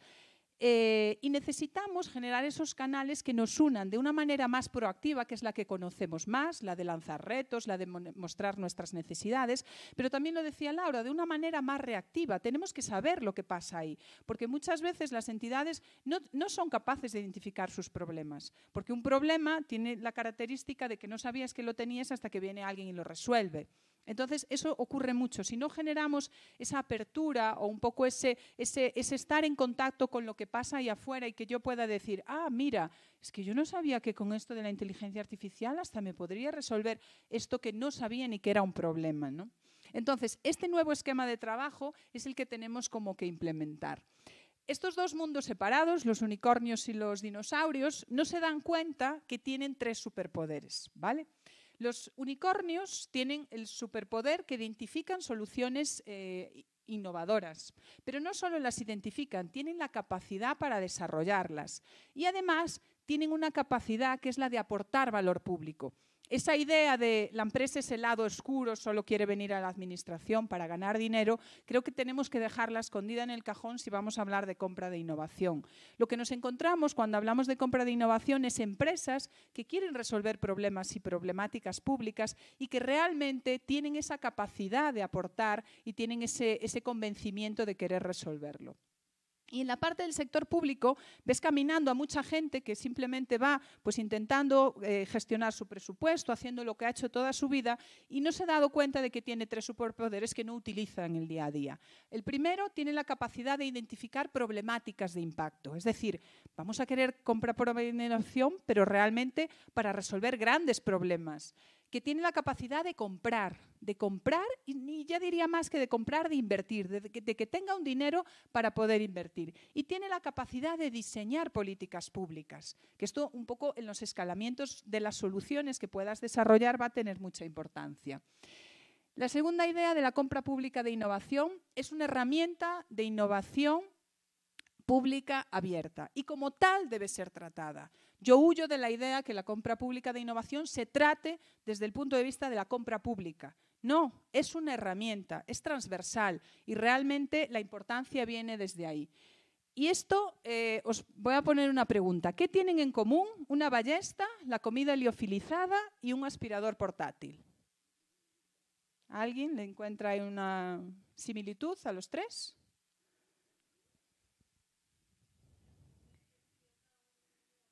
Ha sido una innovación, cierto, y una innovación de quién o quién la, quién la impulsó. El Estado, vale. Detrás de esto está la visión del sector público emprendedor. Cuando algo nos comenta cómo trabajan en defensa, lo que están siendo es un sector público emprendedor están actuando como emprendedores, están generando eh, tecnología, están desarrollando productos innovadores y están apoyando a las empresas y todo el tejido que tienen alrededor. Y os diré que cuando esto pasa, ha pasado momentos desde el siglo IV antes de Cristo. La ballesta fue un concurso que Dionisio I en Siracusa planteó, porque no le estaba yendo muy bien en las guerras en ese momento, y planteó desarrollar o buscar nuevos desarrollos que les permitiera tener mejores eh, pues, resultados en la, batalla. Y vino un grupo de, que además, ese grupo de, personas eh, de aparatos de guerra se instaló en Siracusa algo muy novedoso, las incubadoras, ¿verdad? Pues bueno, ya en el siglo IV ya, ya estaban poniéndolas en marcha.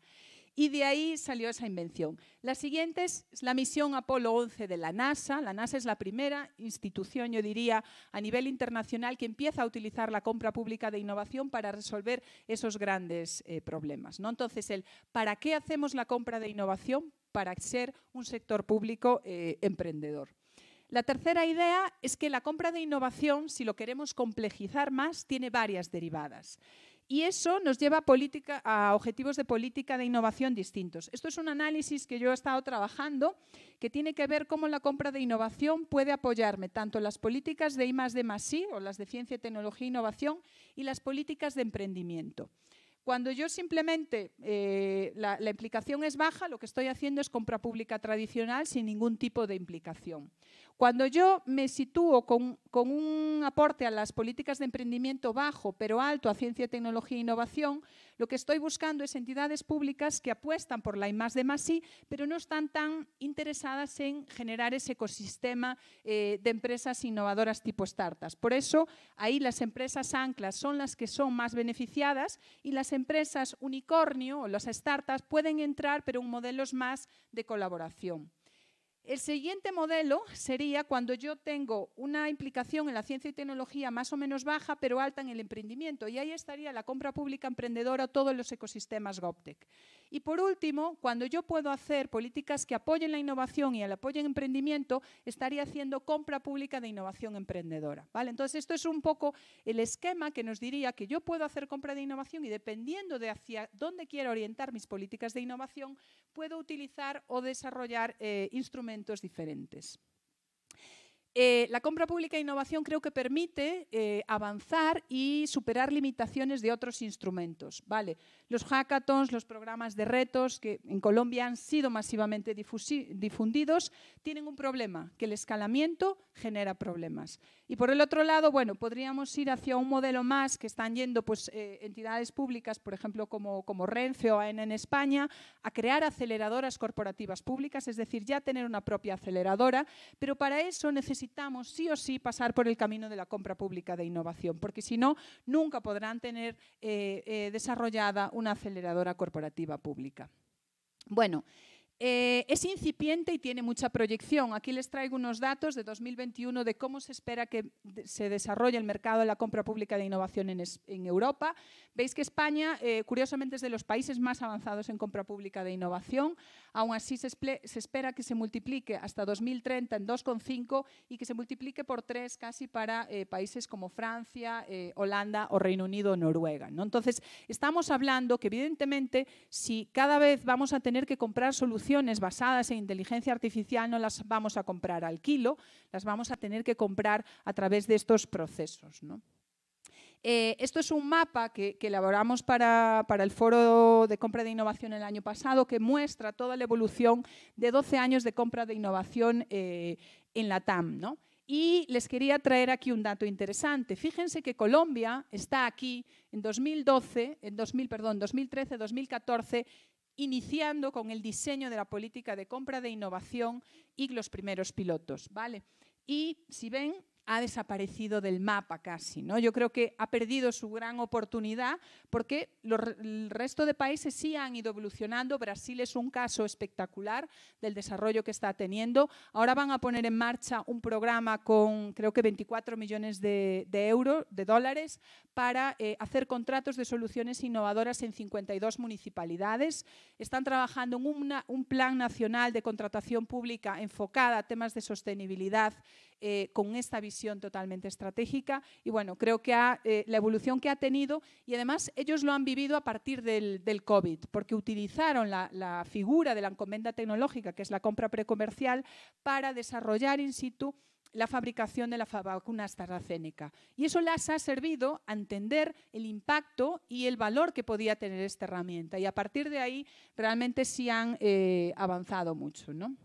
Bueno, Colombia la tenemos ahí, tenemos en 2020 tanto Medellín como Ivo Bogotá, es decir, a, escala subnacional sí ya hay avances, pero creo que eh, Colombia podemos decir que hoy por hoy ha desaprovechado la gran ventaja que tenía hace 10 años, pero nunca es tarde, si la dicha es buena, dice el refrán, para, para retomar la carrera. ¿no? Y ahora que venimos de las Olimpiadas, pues vemos que puedes perder en un mundial y luego ganar en las Olimpiadas. Pues yo creo que apliquemos aquí también el ejemplo. ¿no? ¿Qué ha pasado en Colombia? Han pasado cosas, no es que se haya muerto, pero yo creo que, que ha pasado, y un poco aquí ya voy a, qué teclas hay que tocar, que se han hecho cosas como muy eh, deslavazadas. ¿no?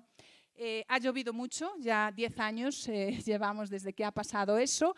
esto es el dato que, un poco mm, creo que mm, eh, sustenta la idea de que se ha desaprovechado la oportunidad. Este es un, trabajo de, CAF que, hice en el 2022, donde se diseñó un índice de implementación de la compra de innovación en, Iberoamérica y donde Colombia aparecía en el puesto séptimo. ¿no? Ese índice, si veis, se basaba en cinco elementos, políticas públicas, marco legal, demanda pública, oferta tecnológica, instrumentos financieros. Hoy hemos analizado un poquito todos esos ámbitos eh, y, bueno, Colombia tenía un 3,33, pero lo más curioso es esto. Este es un gráfico que plantea el año en el que el país empezó a trabajar en compra de innovación y el nivel que tiene en el ranking. Si veis, eh, el caso de Colombia, que está ahí, aparece como empezando a trabajar en el 2014, pero países que han venido mucho más tarde, como Chile, Uruguay o incluso Costa Rica, que ha empezado hace escasamente dos años, están muy por encima en el ranking. ¿vale? Entonces, esto sustenta un poco el dato que, os daba. Y si veis aquí los dos valores, que ya lo veremos a detalle, que aparecen como más debilitados, es el de gobernanza y es el de instrumentos financieros de apoyo a la compra pública de innovación. ¿vale? Bueno, barreras a la implementación, se ha hablado mucho eh, hoy aquí, pero me gustaría resumirla en uno. Creo que las barreras son mentales y no son legales. Eh, podríamos eh, mejorar, eh, simplificar el marco normativo, unificarlo, pero si no atacamos las barreras mentales seguiríamos con el mismo problema. Y las cinco ideas que se plantean un poco para que esa aguja de la compra de innovación realmente eh, se acabe moviendo, pues bueno, la resumiría. Lo primero es creer que podéis hacerlo, ¿vale? Esos dinosaurios que están en todos los ministerios y en todas las entidades públicas tienen que creerse como ha creído también el Ministerio de Defensa, que tienen estos tres superpoderes y utilizarlos, porque los tienen para poder usarlos. Y esto no es más que lo que yo resumo en tener actitud CPI, ¿vale? Tener una idea de cambio de chip, tener un punto de valentía, porque cuando tienes que ir de ingeniero litigante y enfrentarte, pues realmente tienes que ser una persona valiente, tener entusiasmo para no decaer y, esa capacidad de resiliencia y tener compromiso, creer que lo que estás haciendo realmente lo estás haciendo porque mejora la eficiencia del sector público. Yo no, yo no me imagino hoy en día una entidad pública que no utilice innovación y quiera ser eficiente. ¿vale? No me la imagino. La segunda idea, tener un propósito compartido. Un propósito y una narrativa, la gobernanza, ¿vale? Y esa gobernanza tiene que responder a tres preguntas. ¿Para qué queremos hacer CPI en Colombia? Es decir, ¿para qué? Para desarrollar ciertos sectores, para enfocarnos a nuestros temas ambientales. Eh, ahí hay muchos ejemplos de distintos países, distintas regiones. ¿Cómo vamos a organizarnos para remar hacia el mismo lado? Y la tercera, ¿cómo vamos a medir lo que hagamos? Yo creo que si respondemos esas tres preguntas, habremos respondido mucho. Esto es un esquema de cómo planteamos trabajar los temas de gobernanza, a día de hoy hay agentes, digamos que la compra de innovación puede buscar dos objetivos finales. Tener servicios públicos eficientes, por eso que decía, no hay eh, eficiencia sin innovación, y tener empresas más innovadoras. Hay entidades públicas, las de la derecha, que trabajan en que las empresas sean más innovadoras. Y hay entidades públicas a la izquierda que trabajan o que se preocupan porque nuestros servicios públicos sean eficientes. Pero lo hacen de manera separada. Lo que necesitamos es que cada una de ellas entienda que tiene que ceder una parte para crear una gobernanza única y de liderazgos compartidos. Si algo he aprendido es que lo de tener un ente que lidere la compra de innovación no va a funcionar en América Latina. ¿vale? Eh, y lo he vivido en varios países y los modelos que se están planteando ahora tanto en Chile como en Costa Rica son gobernanzas de liderazgos compartidos. ¿Por qué? Porque no puedes dejar todo en manos del ente control de las compras públicas ni en, el ente que gestiona la, ciencia, tecnología e innovación. Entonces, se, está yendo a estructuras de mesas interdepartamentales eh, o interministeriales, a, autoridades de contratación que estén varios ministerios, pero a verlo desde esa manera holística. ¿Por qué? Porque creo que eso ha sido un error en Colombia. Entender que eso tenía que ser propiedad de alguien ha hecho que, ah, pues como esto es del otro, yo ya no me meto ahí. Entonces creo que esto es propiedad de todos y hay que decidir qué hace cada uno de esos agentes que tiene implicación para que esto eh, pueda funcionar. La tercera idea, aclarar el, el escenario normativo completamente. Creo que todos los que pueden hacer compra de innovación hoy estarían un poco así, con esta, con esta cara, y realmente creo que es necesario. Eh, la cuarta idea, eh, todo esto se basa, ese, ese modelo que os decía que tenemos que empezar a trabajar, en generar confianza en crear ecosistemas basados en la confianza. La contratación pública se basa en la desconfianza, desde muy antiguo. Cuando nos hablábamos antes del siglo IV antes de Cristo, pues también más o menos por esa época es cuando Arquímedes eh, recibe el encargo de saber de su, de su, rey que había entregado a los orfebres oro para saber si la corona que había fabricado contenía todo el oro que le había dado. ¿En qué se basaba esa relación? en la desconfianza. ¿En qué se basan hoy las relaciones en la contratación pública? En la desconfianza. Desconfío que el proveedor me ponga el equipo que me va a poner, desconfío que me, cobre lo que me tiene que cobrar. Entonces, mientras eso no lo soluciones, mientras no entiendas que lo que hemos visto hoy cuando hablaba eh, Juan y, y, hablaba la empresa que desarrolla el reto, lo que han creado es un entorno de confianza, un ecosistema de confianza para atender un problema, eh, no habremos resuelto. Evidentemente no podemos crear un ecosistema de confianza en toda la contratación pública de Colombia de la noche a la mañana, además con unos índices pues, de corrupción elevados. Por eso tenemos que empezar por pequeños sectores o un poquito más a modo ahí de acupuntura. Y la quinta idea que os daría es no desesperar, ¿vale? No desesperar porque esto de la compra de innovación tarda en tener resultados. Como yo os digo, eh, en España yo empecé a trabajar hace 12 años. A día de hoy no todas las entidades públicas hacen compra de innovación, no todas, pero sí la gente ya entiende qué es la compra de innovación. Ya no escucho por ahí compra pública inteligente y cosas así. Pero bueno, en todo eso hay que entender que realmente lo que acabaremos viendo como resultados a veces es poco y que nos dé como hasta una vergüenza, ¿no? De, uy, voy a, voy a presentar esto y solo he hecho un piloto, ¿no? Qué mal. No, pero tenemos que empezar a verlo como que hemos conseguido. Hemos conseguido un proceso de gestión del cambio muy brutal, tanto en el parte pública como privada. Tenemos que entender los procesos como que lo que estamos favoreciendo es la sostenibilidad de los servicios públicos, que he rediseñado muchos procesos y que realmente he generado algo que también se decía y lo decía... Eh, creo que fue, sí, la persona del TNP, las nuevas habilidades que esas personas, las capacidades del sector público que se acaban de, aplicar. ¿no? Bueno, y último, ya para cerrar, os, hago aquí eh, clip publicitario eh, desde, hace, desde el 2018 se creó una, instancia que es el Foro Americano de Compra de Innovación e Innovación Abierta, que está auspiciado por el BID y que este año celebra su sexta edición en Santiago de Chile. Eh, se va a Chile. También va a participar pues, el, la, la, RIC, la OEA, el Banco Mundial, quiero decir, ha ido generando y es pues, bueno, eh, el ecosistema que reúne a todas las personas en distintos países que están con estas mismas preocupaciones. ¿no? Entonces, bueno, desde aquí los invito 26, 27 y 28 de noviembre, si quieren asistir, creo que va a estar muy interesante porque hay muchas cosas que, que seguir debatiendo en todo esto. Así que nada, espero que no me haya pasado los 15 minutos, creo que cumplí. Y ya. Muchísimas y gracias. Ya, y ya no me ven más por hoy, ¿eh? se lo aseguro. De pronto mañana. de pronto mañana. Sandra, muchas gracias y de verdad a todos los que se quedaron, mil gracias. Creemos que esto es un tema súper interesante donde hemos aprendido un montón. Eh, contarles un poco, el proyecto sigue en desarrollo, vamos a sacar unos insights de, de todo lo que hemos venido haciendo. Y bueno, muchísimas gracias a todos, gracias a la Universidad del Rosario nuevamente por prestarnos eh, el aula y listo, con esto terminamos. Que tengan buen día y pues ahí seguimos hablando de compra pública e innovación. Muchas gracias.